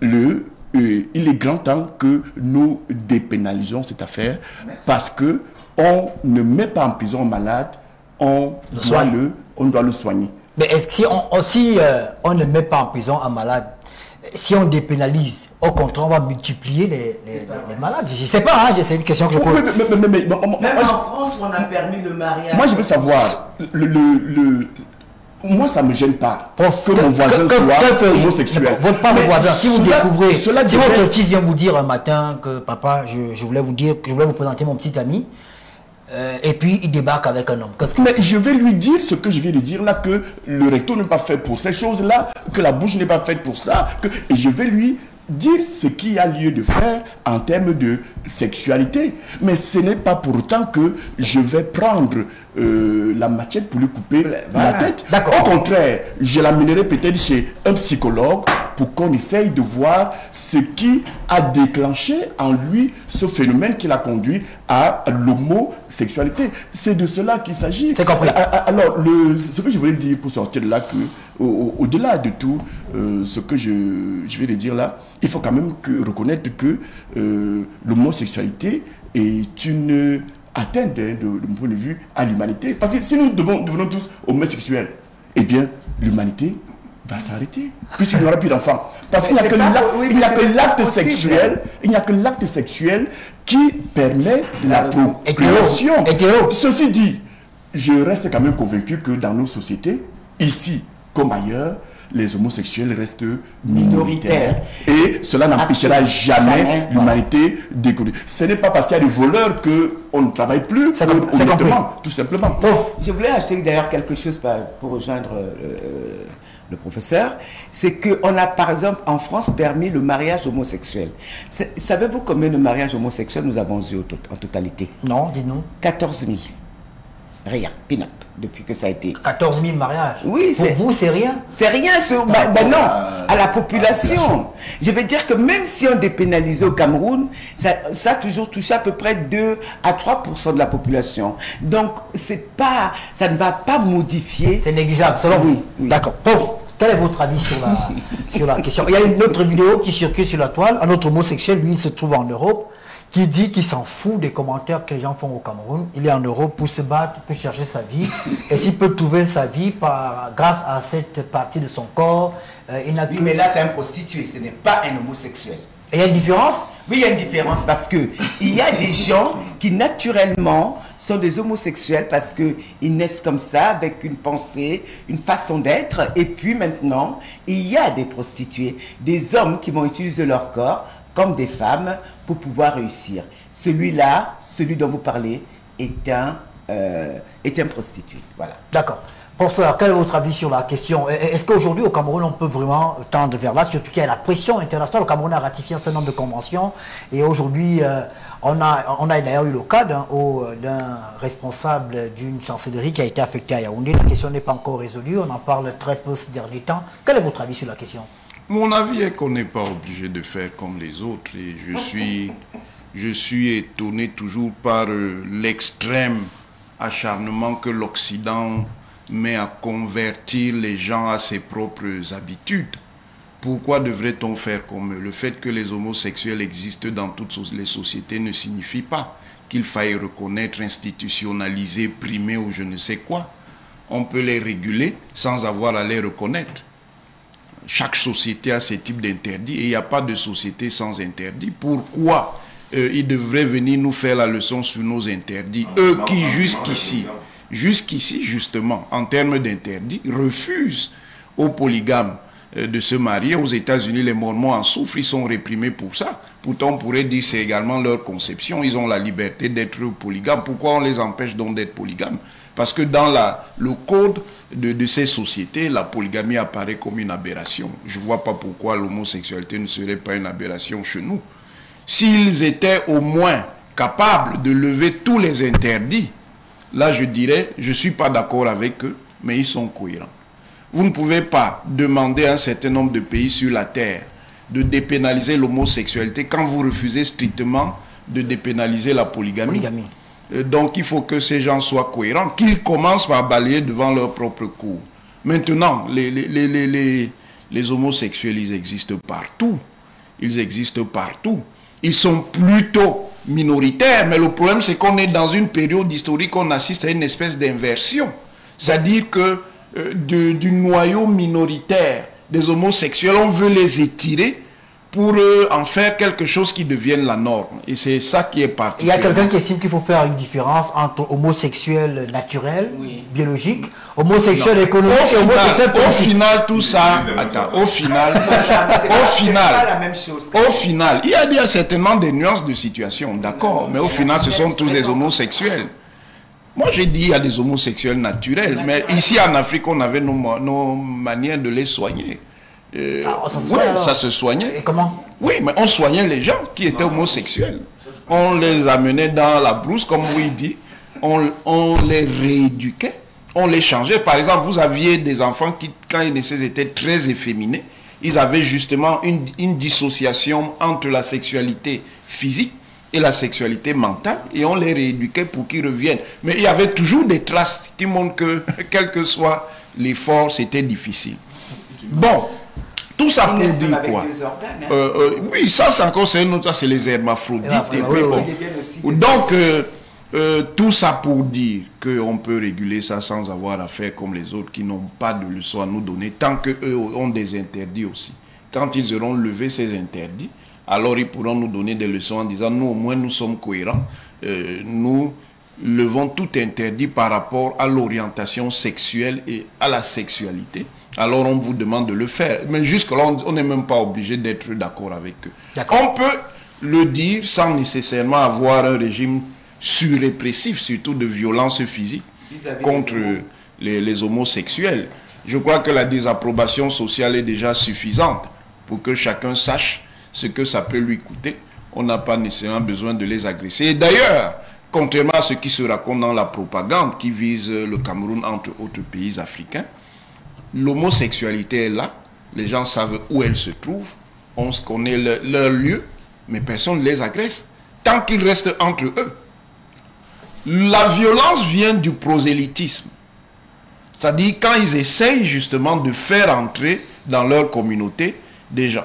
Le forcing dont parlait le Oui, et le prosélytisme, il se fait comme d'autres formes d'abus sexuels. Hein. Il se fait, par exemple, dans le... mais c'est au-delà. Ce forcing, ça s'arrête pas seulement sur le plan physique, mais au-delà, oui, il y a forcing. Il y a un forcing, forcing, qu'il soit physique ou autre chose. Euh, donc, quand il y a du prosélytisme, et puis justement, quand il y a justement des initiations, ça veut dire qu'un homosexuel caractérisé va convertir à l'homosexualité un jeune qui est en quête de repère. Là, s'il est repéré... Là, on parle d'homosexualité économique peut-être Non, ça dit que quelqu'un qui est homosexuel initie un jeune, par exemple, qui n'a pas encore des bases sexuelles bien précises pour l'orienter dans le sens de l'homosexualité. Là, la violence, elle est nette. Oui, mais parlez aussi de ces, de ces, de ces, de ces moi j'ai appris ça, beaucoup de jeunes garçons m'en ont parlé, quand il faut leur demander d'emploi dans des sociétés, on les oblige, m'ont-ils dit, je, à avoir je suis contre ça, contre tout ça.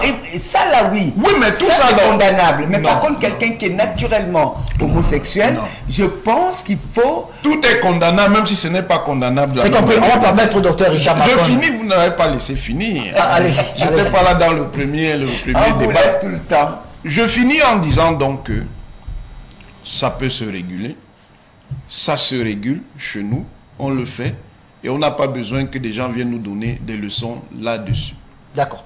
Bon, moi, euh, docteur Richard Macron, vous allez prendre la parole. Je, disais en début euh, d'émission que je, parle très peu, de moins en moins de l'homosexualité. Ça déchaîne des passions.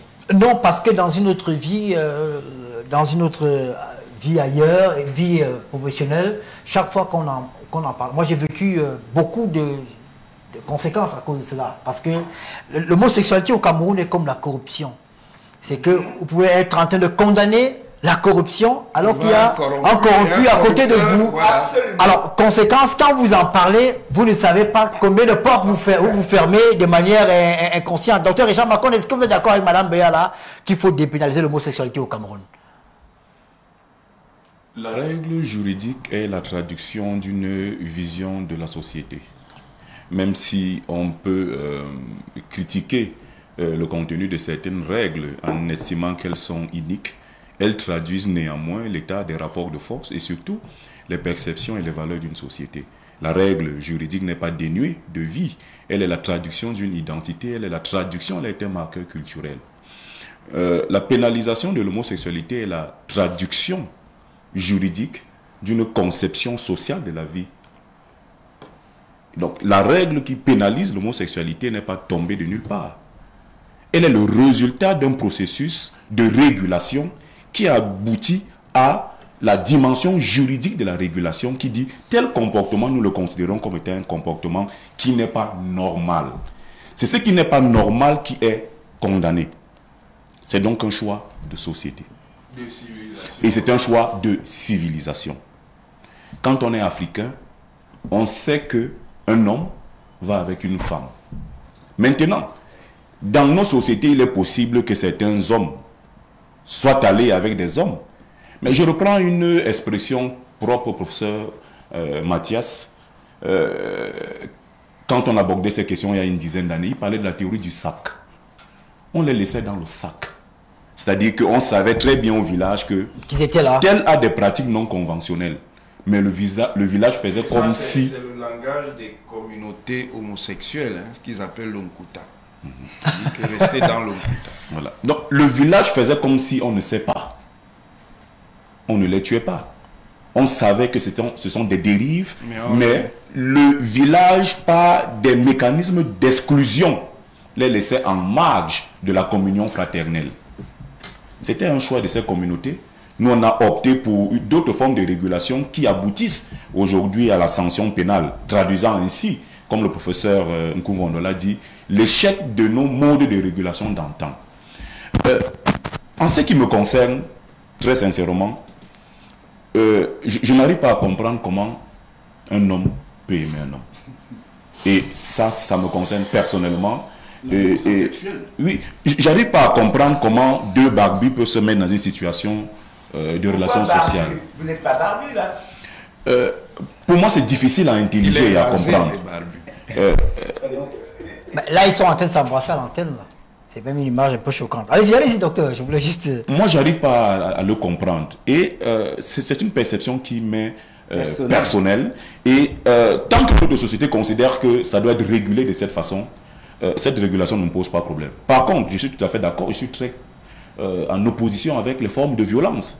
Même si la condamnation est une forme de violence, c'est une forme de violence à la fois morale et physique, mais porter des coups, frapper des gens, euh, par rapport à leur orientation, qu'elle soit alimentaire, qu'elle soit naturelle, me semble quand même euh, euh, un peu trop. Je pense que c'est une question qu'il convient à notre société de discuter, comme la question du franc CFA, comme la question des APE, comme toutes les autres questions que nous considérons qu'elles sont imposées de l'extérieur. Il revient à notre société de faire ses propres choix de civilisation. Qu'il soit un, un, choix de civilisation, qu'on soit dans une logique, qu'on se dise quel est notre modèle de société, quels sont les rapports que nous considérons dans notre environnement comme étant des, rapports qui sont conventionnels, qu'est-ce que nous pouvons tolérer Parce que l'être humain, je vais finir par là, dans les sociétés qu'on dit postmodernes, a réussi à lever un certain nombre de limites. Aujourd'hui, la frontière entre l'homme et la machine a été traversée par l'Occident. Quand vous envisagez aujourd'hui le rapport, euh, voilà, l'homme et la machine, aujourd'hui, il y a des méta humains qui sont même en circulation, parce que ce n'est pas simplement en ayant un, un pied bionique, un bras bionique. Les expérimentations vont déjà ailleurs pour essayer de greffer une conscience et une âme humaine à une machine. Ce sont, ce sont des expériences qui sont aujourd'hui qui au cœur des sociétés postmodernes. Après, c'est l'homme et l'animal. Aujourd'hui, certaines sociétés arrivent à dépénaliser, entre guillemets, le mariage entre une femme et un chien. Aujourd'hui, on estime que parce que euh, l'homme est libre, ce sont les instrumentalisations, les différents entendements de la liberté. Il est libre aujourd'hui aussi de pouvoir euh, aller avec euh, un animal. La prochaine étape, ce sera quoi? L'homme a aussi réussi à traverser la frontière entre l'humain et le divin. On a tué Dieu, on estime que la divinité n'existe plus. L'homme, dans cette société postmoderne, devient son propre Dieu. Il y a dans des frontières comme ça que nous sommes en train de briser les unes après les autres. Et la société monde veut nous rattraper en nous amenant à adopter cette vision de la société. Aujourd'hui, finalement, l'Afrique reste peut-être le dernier réservoir de civilisation et d'humanité. Et peut-être que euh, dans les jours qui arrivent, on va se retrouver en train de discuter de la nécessité de laisser nos jeunes filles épouser nos chiens. Je crois qu'il faut qu'on s'interroge sur les choix que nous faisons. Regardez l'évolution, regardez l'évolution, et je sors par là. Regardez l'évolution de la réglementation occidentale, euh, qui sont en termes de droit comparé des éléments sur lesquels nous travaillons. Regardez le droit civil français, comment il a évolué. L'animal était considéré comme une chose. Dans le code civil, dans le, code civil de 1804, il était considéré comme une chose. Aujourd'hui, on considère que l'animal est un être vivant, avec des droits. C'est pour ça que... discussion philosophique, est-ce que l'animal a une âme? Une âme, une conscience. Et c'est pour ça qu'aujourd'hui, euh, il y a un jeune Algérien qui a été condamné à plusieurs années de prison parce qu'on l'avait filmé en train de lancer son chat en l'air. Vous frappez sur votre chat aujourd'hui en France, vous allez en prison. Mais dans notre société, nous mangeons les chats. Vous voyez donc la confrontation entre des perceptions, des choses. Moi, je vois le chat qui se balade, vous savez, nous les bassins, on adore les chats.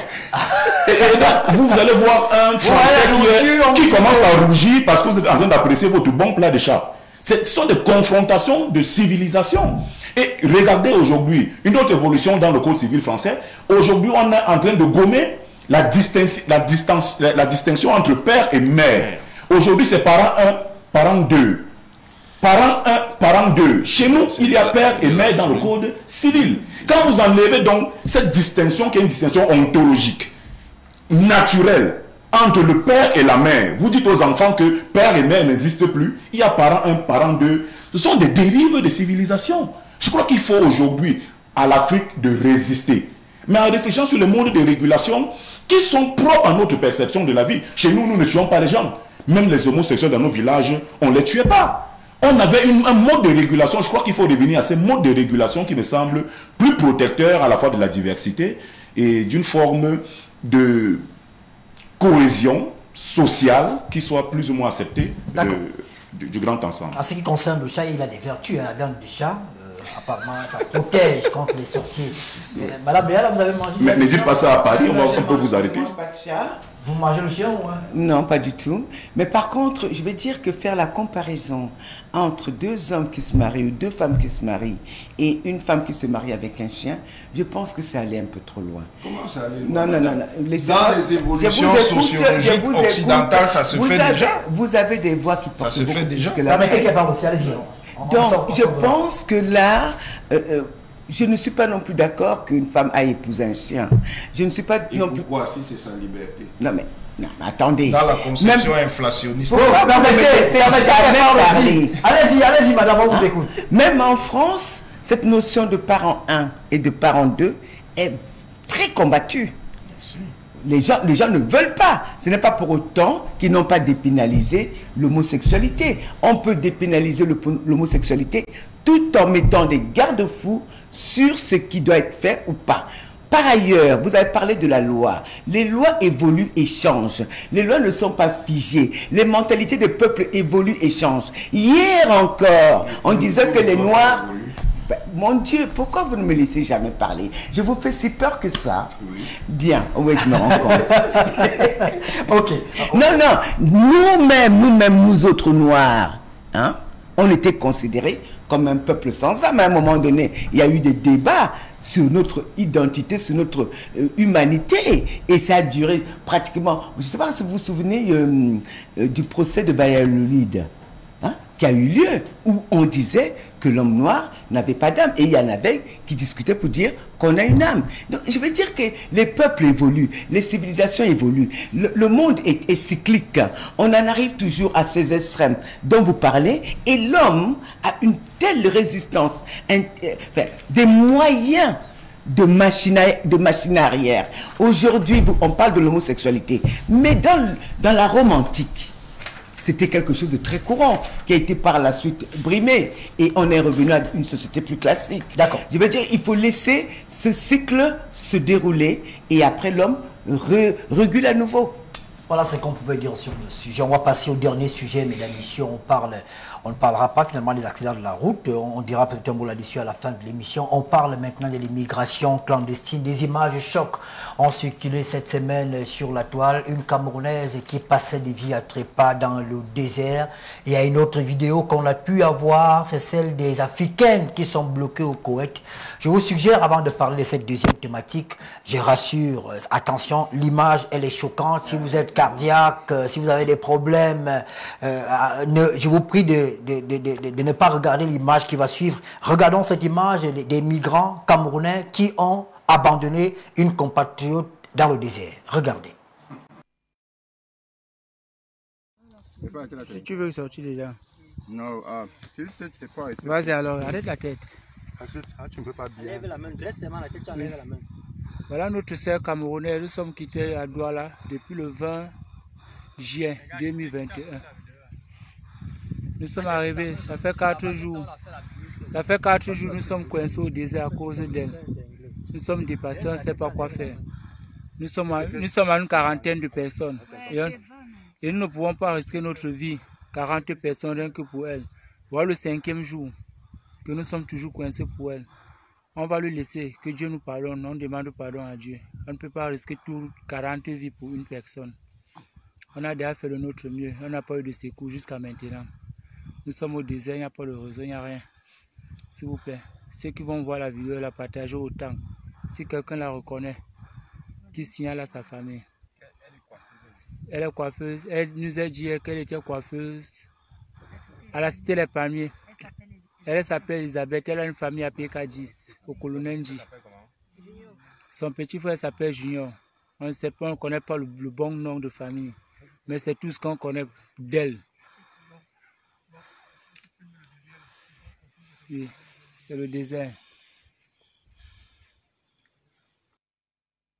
Voilà, retour sur le plateau. Vous avez, euh, chacun a dû voir cette image-là qui a circulé euh, sur, la, sur la toile. Euh, docteur Richard Macron, c'est assez difficile de, regarder ces images, surtout celui qui fait la vidéo, son commentaire est assez touchant. C'est extrêmement difficile. Et, il y a quelques années, et on en riait. Euh, un aîné à, moi que euh, le professeur Onangini et toi-même vous connaissez très bien Sa Majesté Issa Abba, avait créé euh, au début des années 2000 le programme national de lutte contre la méchanceté. Et ça faisait tellement rire et il était parti du constat de ce que le niveau de méchanceté dans notre société avait pris explosait. Euh, il était un visionnaire parce qu'à l'époque, on trouvait qu'il était un peu excessif et la nécessité de créer tout un programme national de lutte contre la méchanceté. Et à chaque fois qu'il parlait de ça, on éclatait de rire en plein studio. Et il disait, si vous riez, euh, j'ai déjà commencé à gagner mon pari. La dernière fois que j'ai vu des Camerounais rire de façon sincère remonte à longtemps. Euh, la méchanceté est une réalité dans notre pays aujourd'hui et on vit cette méchanceté sous toutes ses formes. Euh, en disant donc mon hommage et mes salutations à ce membre du conseil régional de la Damawa, euh, le grand frère Issa Abba, Sa Majesté qui a été visionnaire. Je crois que c'est des programmes aujourd'hui sur lesquels nous devons travailler collectivement.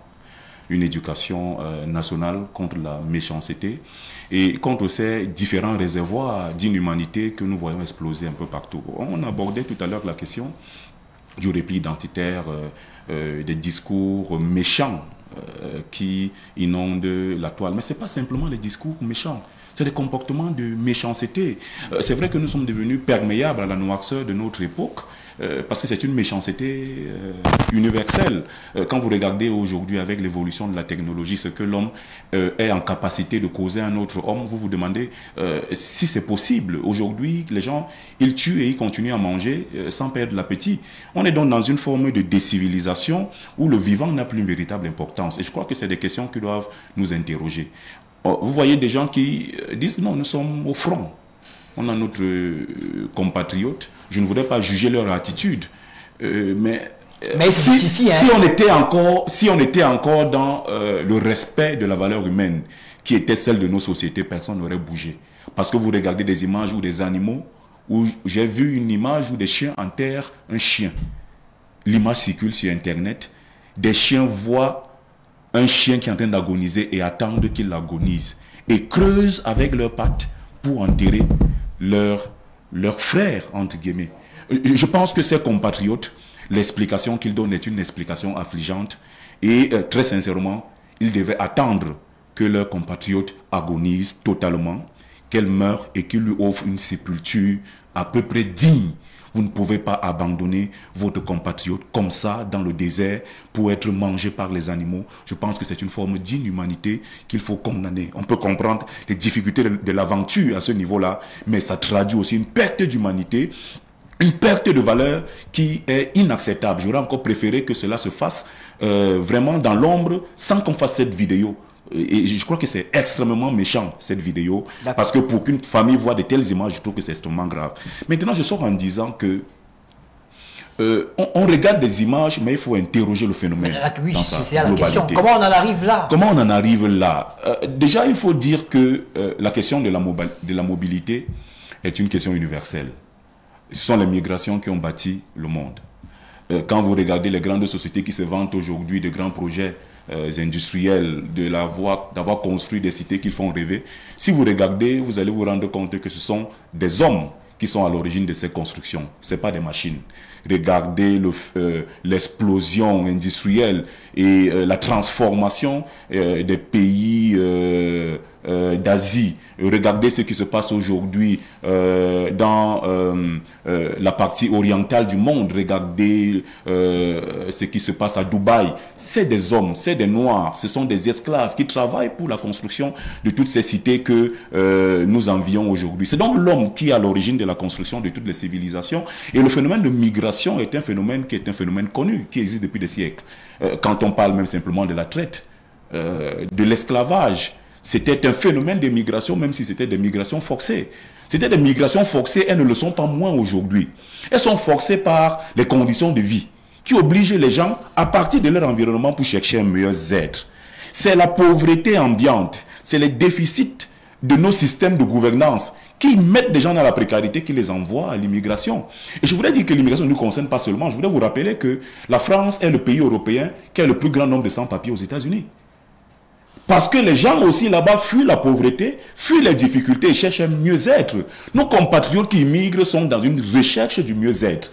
Euh, quand ils regardent les images qui nous sont proposées par les médias, qui font croire qu'en Europe, il n'y a que de prospérité, c'est normal que les gens pensent qu'en allant en Europe, ils vont trouver des solutions qu'ils n'arrivent pas à trouver dans leur environnement. Je suis de ceux qui condamnent euh, l'immigration, mais, mais je comprends les conditions dans lesquelles les gens arrivent à faire ce type de choix. C'est l'absence de perspective, c'est l'absence d'opportunité qui entraîne parfois des gens à faire ce choix de précarité et ce choix qui a généralement des conséquences très graves. Ils arrivent dans des sociétés où ils n'ont pas de papier et vivent parfois une misère qui est plus grave que celle qu'ils vivaient dans leur territoire de départ. Et je voudrais finir en disant que euh, cela arrange aussi beaucoup de gouvernements africains.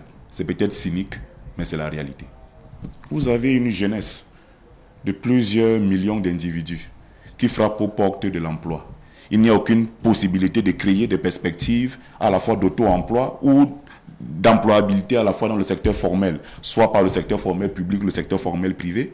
Euh, l'incapacité euh, des gouvernements à créer des conditions favorables à l'épanouissement des gens euh, les amène à faire des choix de mort. Et parfois le gouvernement tolère. Parce que quand vous avez des gens qui partent en immigration, c'est moins de personnes qui vont vous demander le travail le matin. Il y a des gouvernements, qui, ne font absolument rien pour rater ces flux migratoires. On connaît très bien les territoires de départ. Tout le monde les connaît, mais personne ne fait comme s'ils n'existaient pas. Les gens ferment les yeux. Deux personnes qui bavardent à longueur de journée, qui crient sous les fenêtres du Premier ministre, qui vont prendre le bateau pour aller mourir, c'est deux bavards de moins. C'est cynique, mais c'est la vérité. Le gouvernement africain ferme les yeux sur les territoires de départ de l'immigration. Toutes les études montrent que on peut couper ces flux migratoires parce qu'on connaît les territoires de départ, mais on fait comme s'ils n'existaient pas. Les gens ferment les yeux parce que ça arrange les gouvernants. Le jour où l'immigration va poser un véritable problème, on parle de lutte de fuite de cerveau. Quelle fuite de cerveau?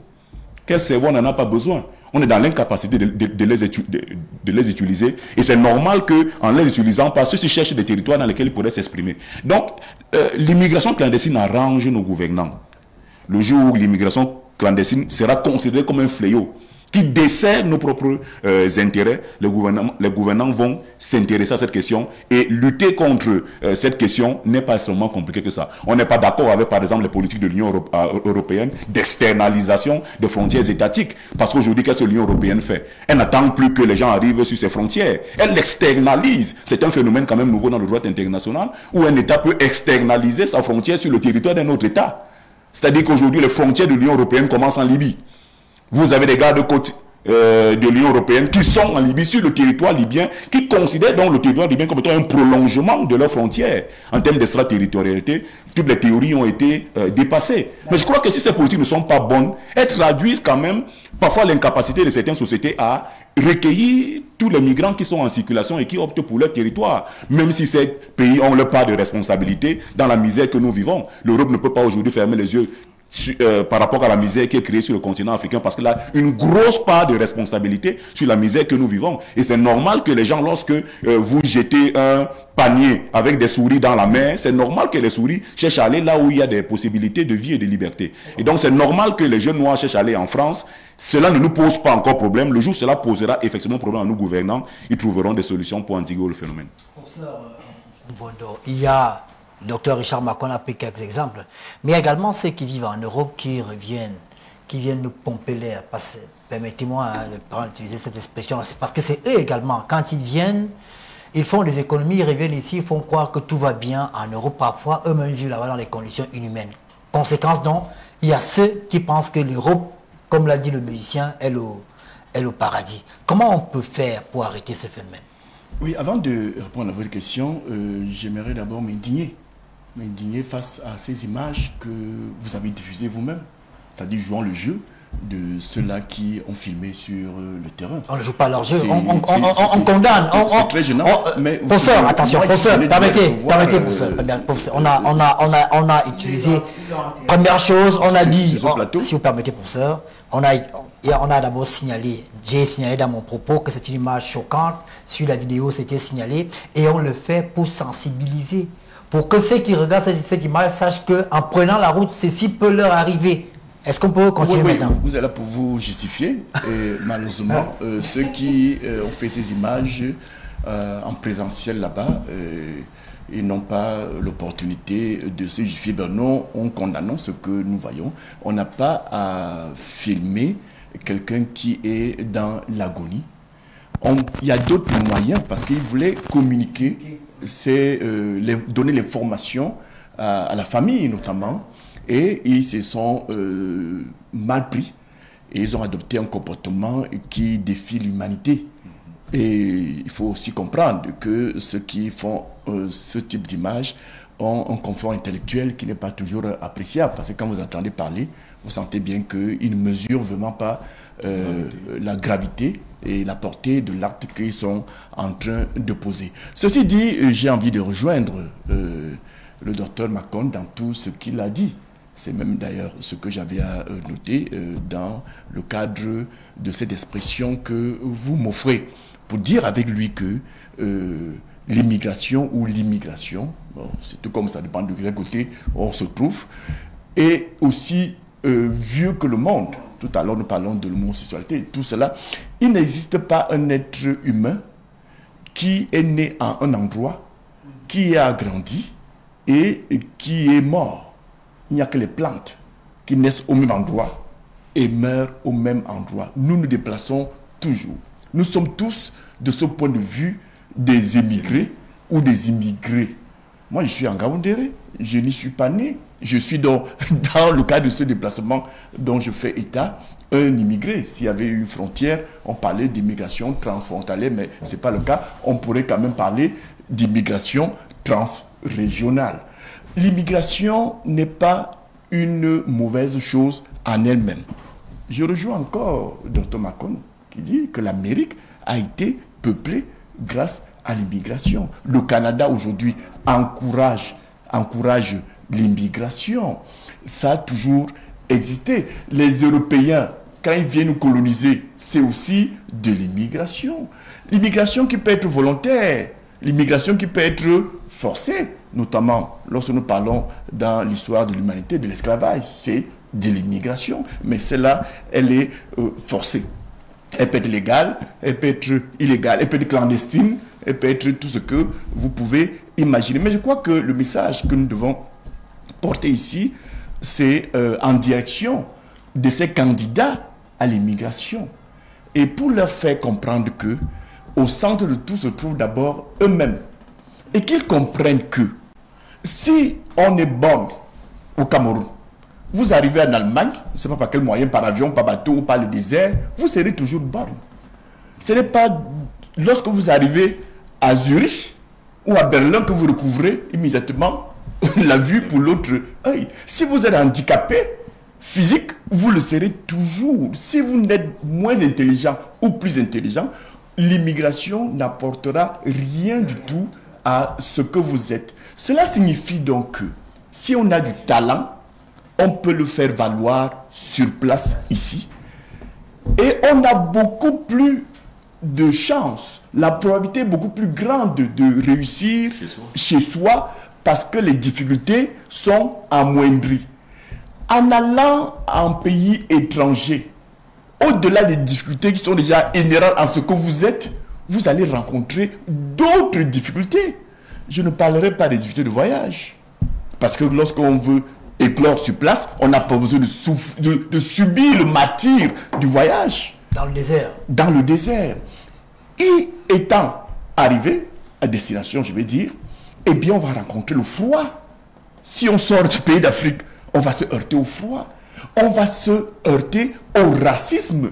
Vous avez beau changer de nationalité, mais vous serez toujours un Africain.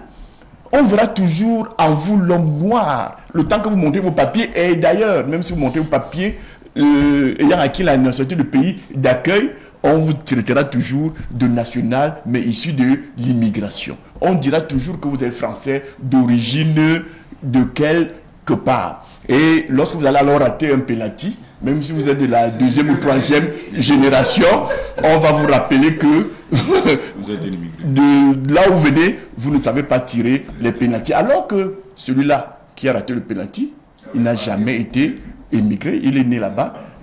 Il n'est pas le seul, hein, c'est également qui est en anglais. Euh, c'est pour dire que.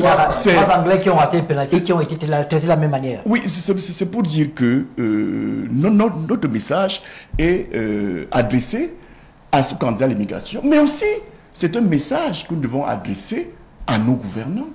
Parce que si les jeunes décident de prendre la rue du désert au risque de leur vie, c'est parce qu'ils ne trouvent pas d'opportunité sur place. Il est donc important, au lieu simplement de condamner, et moi, je peux vous dire, je ne serai pas le premier à jeter la pierre à ces enfants qui prennent le désert. Ils n'ont pas d'issue ici. Tout est fermé. On va jusqu'à confisquer les libertés. Vous êtes dans votre chambre, le sous-préfet arrive et vous dit mettez-vous dehors. Vous n'avez pas le droit d'y être. Vous, à peine vous avez ouvert un petit commerce, que vous êtes harcelé par les euh, corrompus du, du, système fiscal, on est perdu. Vous avez fait l'effort au Cameroun d'avoir des diplômes, parfois jusqu'au doctorat. Mais je trouve cela scandaleux, docteur Macron, que nous formions des docteurs à l'université et que ces docteurs soient en chômage. Au point, ils sont obligés de euh, brandir les fichiers des chansons à la gloire du Tout-Puissant pour se voir recruter dans les universités. on, est, on est très gêné de savoir que après plus de 20 ans de création de réformes universitaires, qu'on soit à nous dire que on a lancé une opération spéciale de recrutement de 2000 seulement. 2000 seulement, alors que je suis convaincu que c'est le chiffre de recrutement annuel qui lui fallu pour que nos universités fonctionnent normalement. Qu'est-ce que vous voulez? L'autre jour encore, c'est des médecins que nous avons formés dans ce pays qui ont pris la rue vous voulez dire que nous avons suffisamment de médecins? Mais alors, quand ces enfants-là vont prendre le chemin du désert, serons-nous les premiers à leur jeter la première pierre? En tout cas, ne comptez pas sur moi. J'ai envie de leur dire, allez-y, il n'y a rien ici. Et je dis aux gouvernants, faites des efforts pour que notre jeunesse trouve sa place. Ne confisquez pas les postes de pouvoir. Permettez à un jeune de devenir aussi président de l'Assemblée nationale. Celui qui est là il y est depuis Mathusalem. Avant mon naissance. Permettez à, aux jeunes qui naissent d'aspirer aussi au pouvoir suprême. Tout le monde peut diriger, le docteur Macron peut diriger ce pays, vous, Obama, pouvez diriger ce pays. Vous, vous sortez des grands yeux, mais c'est possible. Mais donnons l'espoir à cette jeunesse. Parce que l'attitude de cette jeunesse qui prend le désert, c'est une attitude de désespoir. Et nous devons combattre le désespoir. Calix Beyala, Madame Beyala, euh, euh, euh, les jeunes qui partent, on me dit, hein, on les appelle les beaux ailleurs. On, on, parle de 3 000 euros en moyenne qu'il faut pour prendre la route. C'est-à-dire pour les, que les passeurs prennent à ceux-là qui vont prendre la, la route. Ce n'est pas suffisant pour se lancer dans un métier, même si le prof estime qu'il y a après des fiscalistes pas très orthodoxes qui viennent et qui les bousculent. Est-ce qu'il n'y a pas un moyen d'investir avec l'argent qu'on a économisé au Cameroun au lieu de prendre la route du désert? Écoutez, je vais d'abord reprendre beaucoup de choses au départ. Il faut savoir que les Africains immigrent très peu. Il y a à peine 2% d'Africains qui immigrent. Mais il y a toujours, comme on dit, l'effet grossissant des médias qui se braquent sur ceux qui partent et surtout ceux qui partent clandestinement pour nous dire, ça fait aussi partie des méthodes pour ceux qui veulent dénoncer la colonisation. Le colonisateur pour nous dire que nous ne sommes rien. Regardez nos jeunes qui se jettent à la mer. En fait, c'est vraiment c'est une quantité infime. Les Africains, quand ils immigrent, ils restent souvent à l'intérieur du continent. Le Camerounais va aller au Sénégal. Le Sénégalais va venir au Congo. Le Congolais va venir au Cameroun. Le Camerounais va aller au Biafra, etc., etc. Sachez-le, nous avons le continent le plus... Parce que je vous écoute, je suis très étonné. Le plus, le plus riche et les Africains d'aujourd'hui en ont vraiment conscience, même s'ils savent très bien que tous les moyens ne sont pas encore à leur disposition pour pouvoir s'épanouir sur le plan notamment politique. Je vous rejoins sur certaines choses. Ça, c'est le premier point. Le deuxième point, c'est de dire que l'immigration en Occident a toujours existé. Et même jusqu'aujourd'hui, il y a des jeunes Camerounais qui immigrent tout à fait normalement, qui vont faire leurs études en Suisse, en France, au Canada, partout. Il suffit pour cela d'avoir peut-être un niveau Bac plus 2. Parce que les pays d'accueil ne veulent pas avoir des Camerounais qui n'ont pas fait d'études, parce que pour eux, ils sont plus difficiles à gérer. C'est pour ça qu'on ne leur donne pas le visa. Je vais vous dire même une chose. J'ai fait venir pour les enfants d'un ami qui me demandait de, de l'aider à faire venir ses enfants. Ils étaient trois. Il y en avait un qui était très brillant. Faire venir où en France Oui, en France. Il y en avait, bah, comme c'est moi, bon, ça s'est vite passé en, quelques jours, ils avaient leur visa, long séjour. Bien. Il y en avait un qui était très brillant. Même pas un an après, il partait pour renouveler sa carte de séjour le préfet l'a appelé, il avait la nationalité française. Je veux dire que il faut savoir que ces pays-là sont des vrais happeurs, j'utilise ce mot, des cerveaux africains. Ceux qui meurent dans le désert, vous-même, vous avez fait euh, une réflexion, on est tous très tristes au niveau de la compréhension des choses, de la langue. Quelqu'un qui, qui, qui réfléchit beaucoup, qui a peut-être 3000 euros, ne va pas aller affronter le désert en sachant qu'il peut mourir. C'est-à-dire qu'on ne va pas me dire que la vie du Camerounais au Cameroun est si peu précieuse qu'il se, se dit, je vais la brader pour aller en Occident. Quand ils y arrivent, moi j'y suis, je peux vous dire, la souffrance qui les attend. Certains dorment dans les rues, sous les trottoirs. J'en ai recueilli des tas. Ils meurent même sur les trottoirs de froid. Ils n'ont pas de quoi manger, ils n'ont rien. Et même quand certains y arrivent, il leur faut 20 ans pour avoir une carte de séjour. 20 ans où ils vivent dans la clandestinité. C'est-à-dire une vie perdue. Un garçon arrive, il a 20 ans, il, attend 40 ans pour avoir un début de légalité, de, d'existence dans ce pays. Je veux dire que je ne vois pas... Moi, moi je, suis en Europe, j'ai tous les moyens de faire venir ma famille, mais je suis désolé de vous informer que toute ma famille vit en Afrique. Ah, votre famille vit en Afrique Oui. Même vos enfants Mes enfants, non, ils sont, ce sont des Européens, ils sont nés là-bas. Ah, d'accord. Ce sont des petits blancs et leur papa est européen. Mais je parle de mes frères, que vous connaissez, monsieur Obama. D'accord, qui sont, qui, sont, qui sont en Afrique. Tout à fait. Bah, voilà, ils avaient la possibilité d'y aller. Je veux dire qu'il ne faut pas non plus accepter qu'on peigne l'image de l'Afrique tellement en noir, parce que ça aussi, c'est de notre responsabilité et de notre capacité à tout accepter. C'est-à-dire, on nous dit vous êtes des nuls, on dit que nous sommes, nous-mêmes nous acceptons que nous sommes des nuls. On nous dit que nos gouvernements sont, des, sont tous des pourritures, mais vous pensez que les gouvernements européens sont mieux? Hein? Quand on nous vaccine, on ne sait même pas pourquoi tous, même nos enfants qui sont en train de mourir, avec un cynisme. Vous pensez que c'est beaucoup mieux là-bas? Mais vous vous trompez complètement. Vous savez ce qu'on fait avec les pauvres chez nous? En France? Chez vous, en France, oui. Oui, je vais vous expliquer. Peut-être que ça va vous paraître génial. On paye des impôts, on leur donne quelques allocations. En fait, vous savez pourquoi on fait ça? Moi, j'ai déjà assisté aux réunions. C'est pour qu'ils ne bougent pas. Pour que les riches continuent à s'enrichir et qu'ils ne s'approchent pas où il y a la richesse. Voilà, c'est pour ça qu'on paye des impôts. Sachez-le que ce sont des sociétés.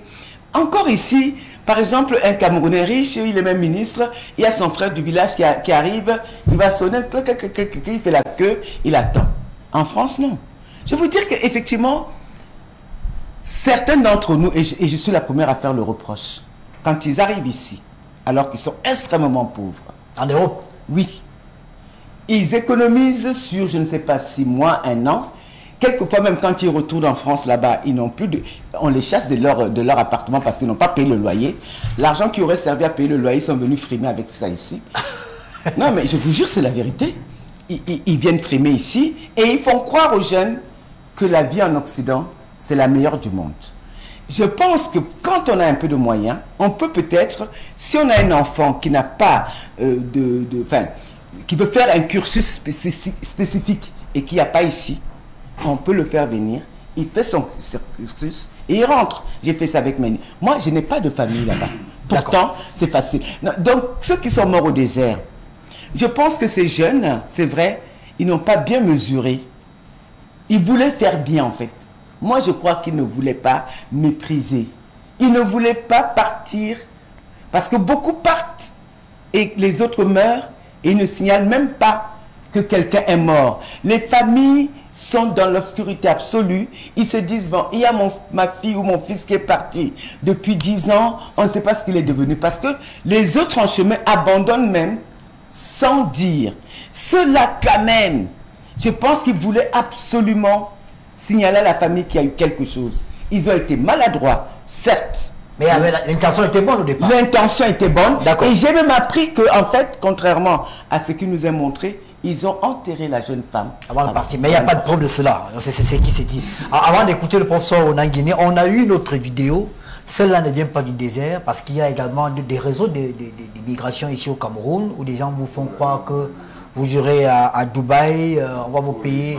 Au Liban, on va bien vous payer. Vous allez faire le On, a pu, il y a une personnalité, je vous dis, c'est une personnalité qui nous a envoyé cette vidéo-là, euh, des, des Africaines qui sont en détresse, au, je crois que c'est au Koweït, si je ne me trompe pas, et qui souhaitent revenir en Afrique, mais elles sont bloquées. Regardez. Ici, toutes ces femmes qui sont ici présentes représentent tous l'Afrique. Il y a la Guinée, il y a le Mali, il y a la Côte d'Ivoire, il y a la Cameroun, le Cameroun plutôt. Nous sommes tous ici retenus par les Arabes, les Sierra Leonaises. Nous sommes tous ici retenus par les Arabes. Ils ne veulent pas nous laisser rentrer chez nous. Nous sommes au Koweït. Ils nous ont dit qu'ici, c'est un centre de recueil de réfugiés ici. Donc nous sommes venus, nous, normalement nous ne devons pas payer de ticket pour rentrer chez nous. Mais on nous impose une somme que nous devons payer pendant que nous n'avons rien sur nous. On refuse de nous laisser rentrer chez nous.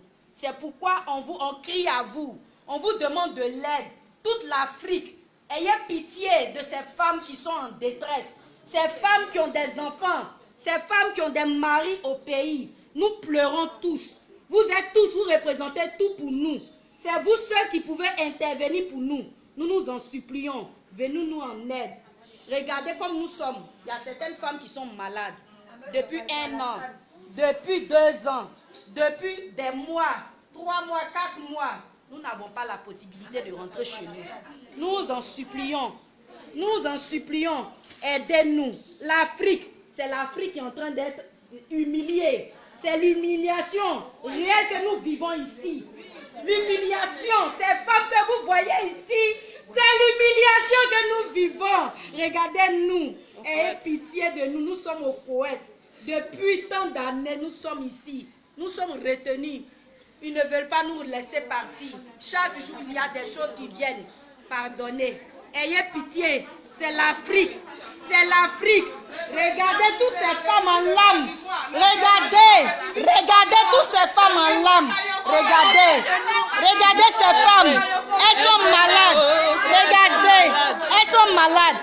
Ayez pitié de nous. Ayez pitié de nous. Ayez pitié de nous. La Guinée, le Mali, les Sierra. Ayez pitié. C'est toute l'Afrique. Tous qui. C'est l'Afrique. C'est l'Afrique. Ayez pitié. Ayez pitié. Ayez pitié. Elles quittent leur mari. On est de retour. C'est vrai que la vidéo n'est pas forcément actuelle, hein, mais c'était pour illustrer la, situation de ceux qui vivent régulièrement. Parce qu'il y a une autre vidéo plus récente encore euh, où les Africains ont été tabassés, je crois que c'est à Dubaï. Euh, apparemment, ils ont été arrêtés pour euh, une pratique peu orthodoxe. Ils ont été, tabassés. Prof, vous allez prendre la parole, mais, je voulais faire un témoignage sur le, cas des femmes. J'ai moi-même reçu quelqu'un ici, il n'y a pas longtemps, qui me disait qu'il a envoyé son épouse s'est débrouillé. J'ai dit, euh, je ne comprends pas. Vous allez voir votre épouse s'est débrouillée où? Il me dit, euh, euh, dans les Émirats. Elle s'est débrouillée comment? On, on m'a dit qu'une femme de ménage gagnait pratiquement 1000 dollars par mois là-bas et qu'il fallait payer un million. Et la femme est partie et il n'a plus de nouvelles de la femme en question. Ah, les situations comme cela, qu'est-ce qui peut expliquer qu'un homme envoie sa femme euh, bon, Je pense d'ailleurs en Afrique authentique, c'est lui qui va travailler, non? La femme attend à la, à la maison. Aujourd'hui, c'est l'inverse. Non, c'est la misère mentale et c'est l'insuffisante prise de conscience de la valeur de soi. Je crois que malheureusement, ces dames découvrent maintenant combien leur pays leur était précieux malgré toutes les difficultés, toutes les souffrances qu'elles pouvaient vivre dans leur pays. Il y avait un niveau d'inhumanité qui ne pouvait pas être atteint, surtout peut-être en dehors des, des conjonctures comme les conjonctures de guerre. C'est maintenant qu'elles vont se rendre compte de cela. De plus en plus, on dit aux, jeunes, et pas seulement aux jeunes, à tous les migrants irréguliers, ça ne sert à rien de tenter une telle expérience. C'est une expérience qui ne peut conduire qu'à la souffrance, voire à la mort. Et je dis toujours, ça pendant longtemps, j'ai fait un, un cours à soi sur les grands problèmes contemporains où je posais souvent la question des migrations irrégulières en disant, mais si un jeune a la force de traverser des milliers de kilomètres à pied, ça veut dire qu'il peut résoudre son problème au Cameroun. Moi, je ne peux pas faire 10 kilomètres parce que je vais aller me chercher comme il dit. Ça veut dire qu'ils ont toute l'énergie, quelles que soient les difficultés, de résoudre. Et il y a des jeunes qui résolvent leurs problèmes ici. C'est pas facile, d'accord. Il y a un certain nombre de contraintes, il y a euh, de l'environnement, l'environnement institutionnel, euh, le climat économique qui n'est pas toujours favorable. Mais il y a aussi des jeunes qui se battent ici. Et en réalité, comme beaucoup d'entre nous, ils n'ont pas compris que c'est sur place qu'il y a de la valeur. Et tous ceux qui fuient, en réalité, nous affaiblissent. Ils ont des raisons, je ne dis pas le contraire, de se plaindre de ne pas être insérés, de ne pas être intégrés. Mais chaque fois qu'ils en parlent, en réalité, ce sont leurs pays qu'ils affaiblissent. Et c'est pire encore pour les jeunes qui sont formés. Parce qu'aujourd'hui, comme le disait Madame Beyala, il y a une nouvelle forme de traite négrière qui consiste pour les sociétés les plus développées, qui ont les ressources les plus importantes en matière de formation, à voler les ressources qui ont été construites ici. C'est-à-dire à voler tout l'argent que nos institutions publiques et nos collectivités familiales, communautaires et autres ont investi dans la formation de leurs. Bien entendu, les gens vont s'en sortir au niveau individuel, mais ils vont condamner leur collectivité. Voilà pourquoi moi je suis absolument contre ces expériences de migration. Vous ne dites rien sur le, la responsabilité de l'État. Le Responsabilité le de l'État. Si vous permettez, le docteur Oui. Richard Macron l'heure évoqué le fait que ces jeunes qui partent, certes, certains ne sont pas intellectuels, mais n'ont pas trouvé euh, la possibilité de- d'un meilleur avenir sur place. Oui. Et là, on peut interroger les politiques gouvernementales d'auto-emploi. Oui, Parce oui. qu'il y a de nombreux projets qui sont créés chaque année, qui, en- qui engloutissent de nombreux millions, mais on a du mal à voir ces jeunes-là qui ont pu se créer un emploi et qui vivent grâce à ces projets qui ont été mis en place par le président Biya. Ça, c'est une vision superficielle. Je vais vous dire pourquoi. responsabilité de l'État, oui. Mais la vraie responsabilité de cette affaire, et c'est le problème qu'on n'indique jamais, c'est la structure de l'économie mondiale. Quand vous condamnez des continents entiers à rester dans la rente, c'est-à-dire à être incapables de produire de la valeur ajoutée, que voulez-vous qu'il se passe? Quand vous avez des règles d'échange où, dans un cas, celui qui vend un bien avec de la valeur, de la technologie qu'il a intégrée, fixe le prix du bien. Mais quand vous lui vendez votre matière première, c'est encore lui qui fixe le prix de votre propre matière première. Ça veut dire qu'on est dans un système d'asymétrie radicale. Mais prof, ça c'est au niveau Non, macro. mais le niveau macro est lié à tous les niveaux. Mais- vous ne pouvez pas faire comme si le niveau macro n'est pas lié à sinon, ça. sinon, si on s'en tient donc à, à cette réalité-là, pourquoi l'État mis en place dans le PIAZI, le L'État, l'État, l'État, comme tout État, a des justifications pour se reproduire. Il faut que l'État vive et il faut donc qu'il se donne une finalité et une raison de vivre. Pourquoi et cette raison de vivre passe par des politiques. Maintenant, on peut donc questionner l'efficacité et la pertinence de ces politiques. D'accord. Mais vous allez voir donc que dans les déformations des politiques, les politiques d'insertion des jeunes, il y a la part des responsables d'État, des services d'État, d'accord. Mais beaucoup de jeunes aussi contribuent à la dégradation de ces politiques. Ça veut dire on leur donne des financements qu'ils utilisent pour aller dans la migration clandestine. Au lieu de faire les projets pour lesquels ils ont candidaté et ils ont eu des ressources. D'autres jeunes se font les complices donc de bureaucrates sans vertu qui leur disent bon voilà, on te donne le financement, après on se partage et tu ne fais rien. D'accord. Mais je dis et je répète que le problème de la migration est un problème planétaire qui part de la structure des échanges et de la production mondiale, qui a condamné 70% des pays du monde à ne pas pouvoir s'enrichir. Parce que le système bloque l'enrichissement chez eux par plusieurs moyens. Par les échanges, par la captation des flux financiers. Ça veut dire que les gens ici, hommes d'affaires, hommes de pouvoir, qui recyclent des rentes souvent acquises de manière malhonnête, ils envoient ça là-bas et ça rentre dans le système, ça ne sort plus. Évidemment, tout cet argent qui part là, c'est un argent qu'on ne peut pas consacrer aux ça, politiques d'insertion sociale et économique. D'accord. On ne peut pas faire comme si cela n'existe pas. Parce qu'il ne faut pas avoir le regard restrictif. Ce problème-là, ce n'est pas un problème spécifiquement camerounais ni africain. C'est un problème qui se pose en Amérique latine et vous voyez la pression que l'Amérique latine fait sur l'Amérique du Nord, c'est un problème qui se pose en Afrique du Nord, c'est un problème qui se pose en Asie, en direction des pays faussement riches. Les pays faussement riches, c'est précisément les pays dans lesquels ces dames sont allées, où il y a un racisme le plus obscur du monde. Et on dit toujours aux Africains, n'allez surtout pas dans ces pays. C'est un pur mirage. Quand vous dites allez à Dubaï, aller à Koweït parce qu'il y a un racisme anti-noir terrible. Et tous ceux qui y vont sont destinés à être des esclaves. C'est compris. Moi, j'ai l'impression que le peuple ne veut pas évaluer. euh, la- j'ai l'impression la Je- pas responsabilité. que je ne veux pas évaluer, Cameroun. mais l'évaluation sérieuse, monsieur Obama, se fait sur une base sérieuse. Il y a une économie politique internationale. Dans, moi, je ne parle pas spécifiquement du Cameroun.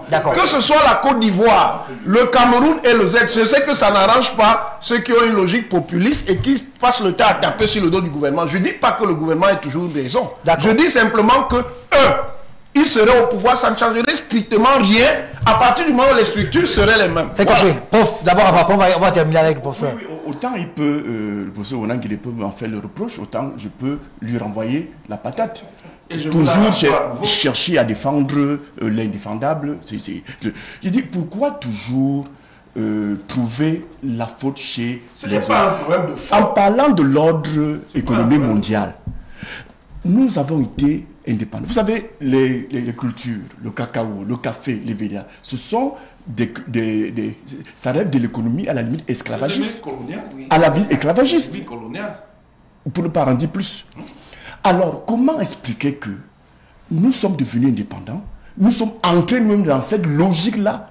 Est-ce que ce sont les Suisses qui font du chocolat qui nous obligent à continuer à cultiver le cacao Qui, du point de vue du côté du cultivateur ici, cela ne lui sert à rien. C'est tout à fait logique que l'acheteur que l'acheteur fixe le prix. Vous parce avez vu que- ce que ça a donné en Oui. Côte d'Ivoire quand il y a les prix Laissez-moi faire, Je lui donne juste un élément. Vous avez vu ce que ça a donné en Côte d'Ivoire quand la Côte d'Ivoire a tenté des tentatives d'industrialisation dans Mais le c'est chocolat. à nous de penser notre économie. Je ne dis pas le contraire. N'amenons pas les autres Je ne dis à pas le chercher contraire. notre bonheur à notre place. C'est nous qui devons comprendre que dans cet ordre économique-là, le cacao ne nous sert à rien et c'est un instrument de sous-développement. Nous devons donc, pour être très simple, pour que nos téléspectateurs nous comprennent bien, il vaut mieux amener les agriculteurs à faire de la banane, à faire de l'igname. Comme ça, je peux consommer si je peux vendre et je serai donc libre à ce moment-là de fixer mon prix qui ne sera plus fixé par Ah, l'acheteur. Il faut commencer par là. Vous, vous voulez dire que, vous voulez dire que c'est l'ordre économique mondial qui nous oblige à vider nos forêts de leur bois pour l'envoyer à travers les bateaux? Bien entendu. Nous devons sortir de là. Nous veut sortir là, et une autre économie qui n'est pas une économie esclavagiste. C'est de cela que je parle. Excusez-moi, mais Ce- ceci vous ne tenez pas compte d'un fait. Ceci- Tous les deux là, tous les deux là. Si vous permettez qu'il finisse, vous aurez Oui, la parole ce- ceci dit, donc j'ai fini avec euh, le défenseur du pouvoir en place. Bon, ce- ceci dit, pour revenir à notre débat, nous avons un débat euh, sur, sur, euh, l'immigration. Et il faut quand même dire que c'est, il faut rattacher cela à euh, l'attraction des modèles et que nous devons bien évidemment combattre. Lorsque à longueur de journée, à longueur de soirée, on diffuse des, images trompeuses de novellas, faisant croire en l'Eldorado de l'autre côté. Il y a un problème, c'est pour ça que je dis, avant de condamner ceux qui immigrent, attaquons-nous au vrai problème, c'est-à-dire à, l'éducation. Nous devons arriver jusqu'à interdire. Ça peut se faire. On ne va pas crier. On ne va pas crier à, à l'atteinte à, la- à la, à- à la liberté de, de- de communication. Non. De- vous allez dans toutes les maisons aujourd'hui, vous allez trouver toutes les, les- les adolescents en train de regarder Novelas. Et c'est comme Et où les Noirs sont c'est les tous domestiques. Hein? Oui, mais Il y a il y a un noir qui est champion du monde. non, je ne sais pas Sénégalais. fini. Oui, allez-y. Et nous devons, Tous nous qui débattons, Oui.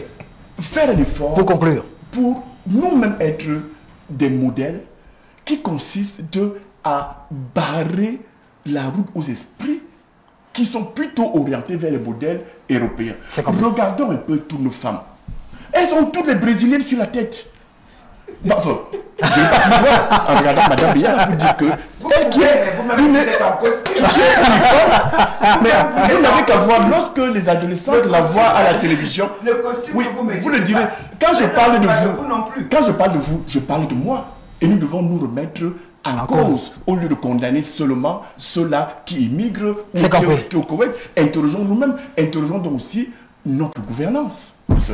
Docteur Richard Macon, allez-y. J'espère qu'on vous nous aura parlé. Il, le Botswana est l'un des pays africains qui ne compte pas, presque pas d'immigrés. Le mouvement s'est fait à l'inverse. C'est-à-dire qu'aujourd'hui, dire immigrés ou immigrés Aujourd'hui, oui, ils ne sont pas immigrés. Aujourd'hui, c'est le mouvement qui s'est fait à l'inverse. Il y a des dynamiques intéressantes qui se font en Afrique aujourd'hui en termes d'amélioration de la gouvernance.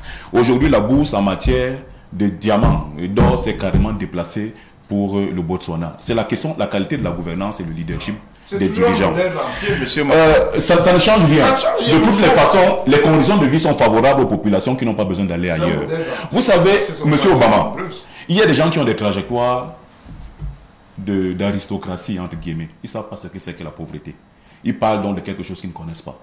Quand quelqu'un est désespéré, Monsieur Obama, il est prêt à tenter n'importe quoi. Vous comprenez? Et parfois, on considère qu'il est mieux de souffrir ailleurs que de souffrir et être Chez soi. désespéré dans son propre pays. Donc, des gens immigrent, ce n'est pas désespoir, Monsieur Obama.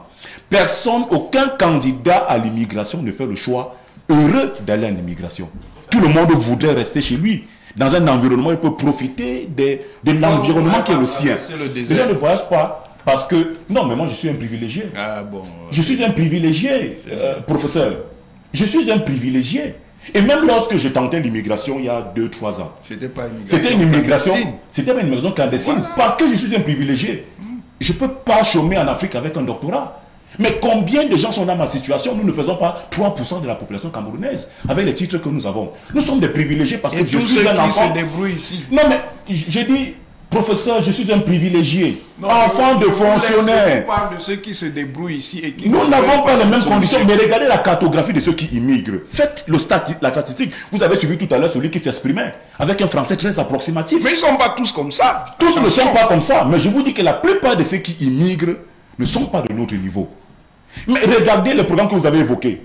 Où part l'argent du Piazzi, du PAGEU dans les poches de fonctionnaires Si cet argent profitait, mais essentiellement Vous savez que beaucoup de jeunes ont détourné cet argent. Mais ces jeunes ont détourné cet argent avec la complicité des fonctionnaires qui n'en assurent pas. Mais ils l'ont quand même détourné mais, aussi. oui, mais ils ont détourné la complicité de qui? Les enfants sont à l'image de leurs géniteurs. Eh Donc ce que je voudrais dire, Ah, c'est que la, la gouvernance, notre gouvernance est ont calamiteuse.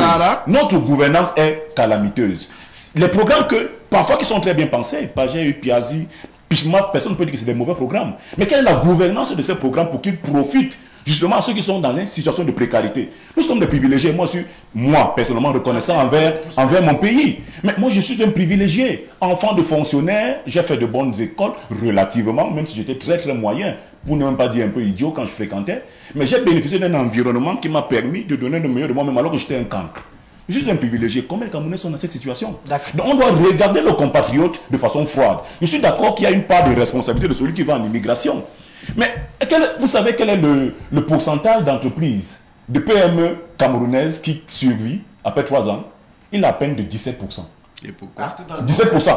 La qualité de l'enseignement juridique, la qualité de l'organisation du milieu des affaires, la qualité de la fiscalité qui ne permet pas aux entreprises de survivre, qui meurent toutes. Pratiquement, il y a à peine 17% d'entreprises. Les chiffres sont donnés par l'État. Qui survivent après 3 ça, ans. Dans un tel environnement un tel environnement de mauvaise gouvernance, de mauvaise réglementation, d'incapacité d'assurer même le contrôle des financements qu'on envoie à- à- à- aux jeunes.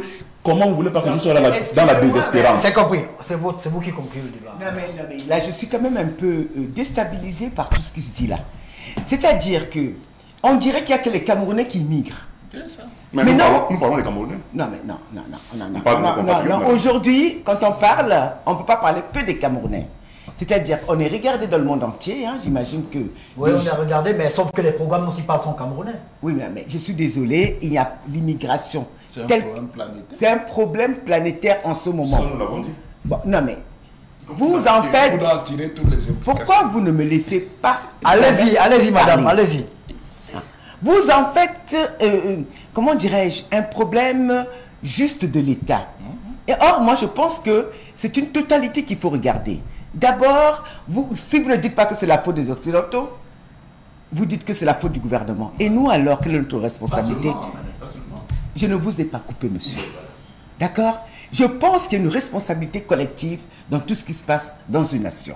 La première chose qu'il faut savoir, c'est que, euh, euh, par exemple, la France-Afrique qui appauvrit, parce que c'est ça la réalité, cette France-Afrique qui appauvrit est constituée aussi bien des Blancs que de nos propres élites nationales. D'accord? Quand on parle de Bolloré, Bolloré c'est qui? Ce n'est pas un blanc, hein? C'est aussi nos propres frères qui pillent de l'argent des États et mettent dans ces entreprises-là.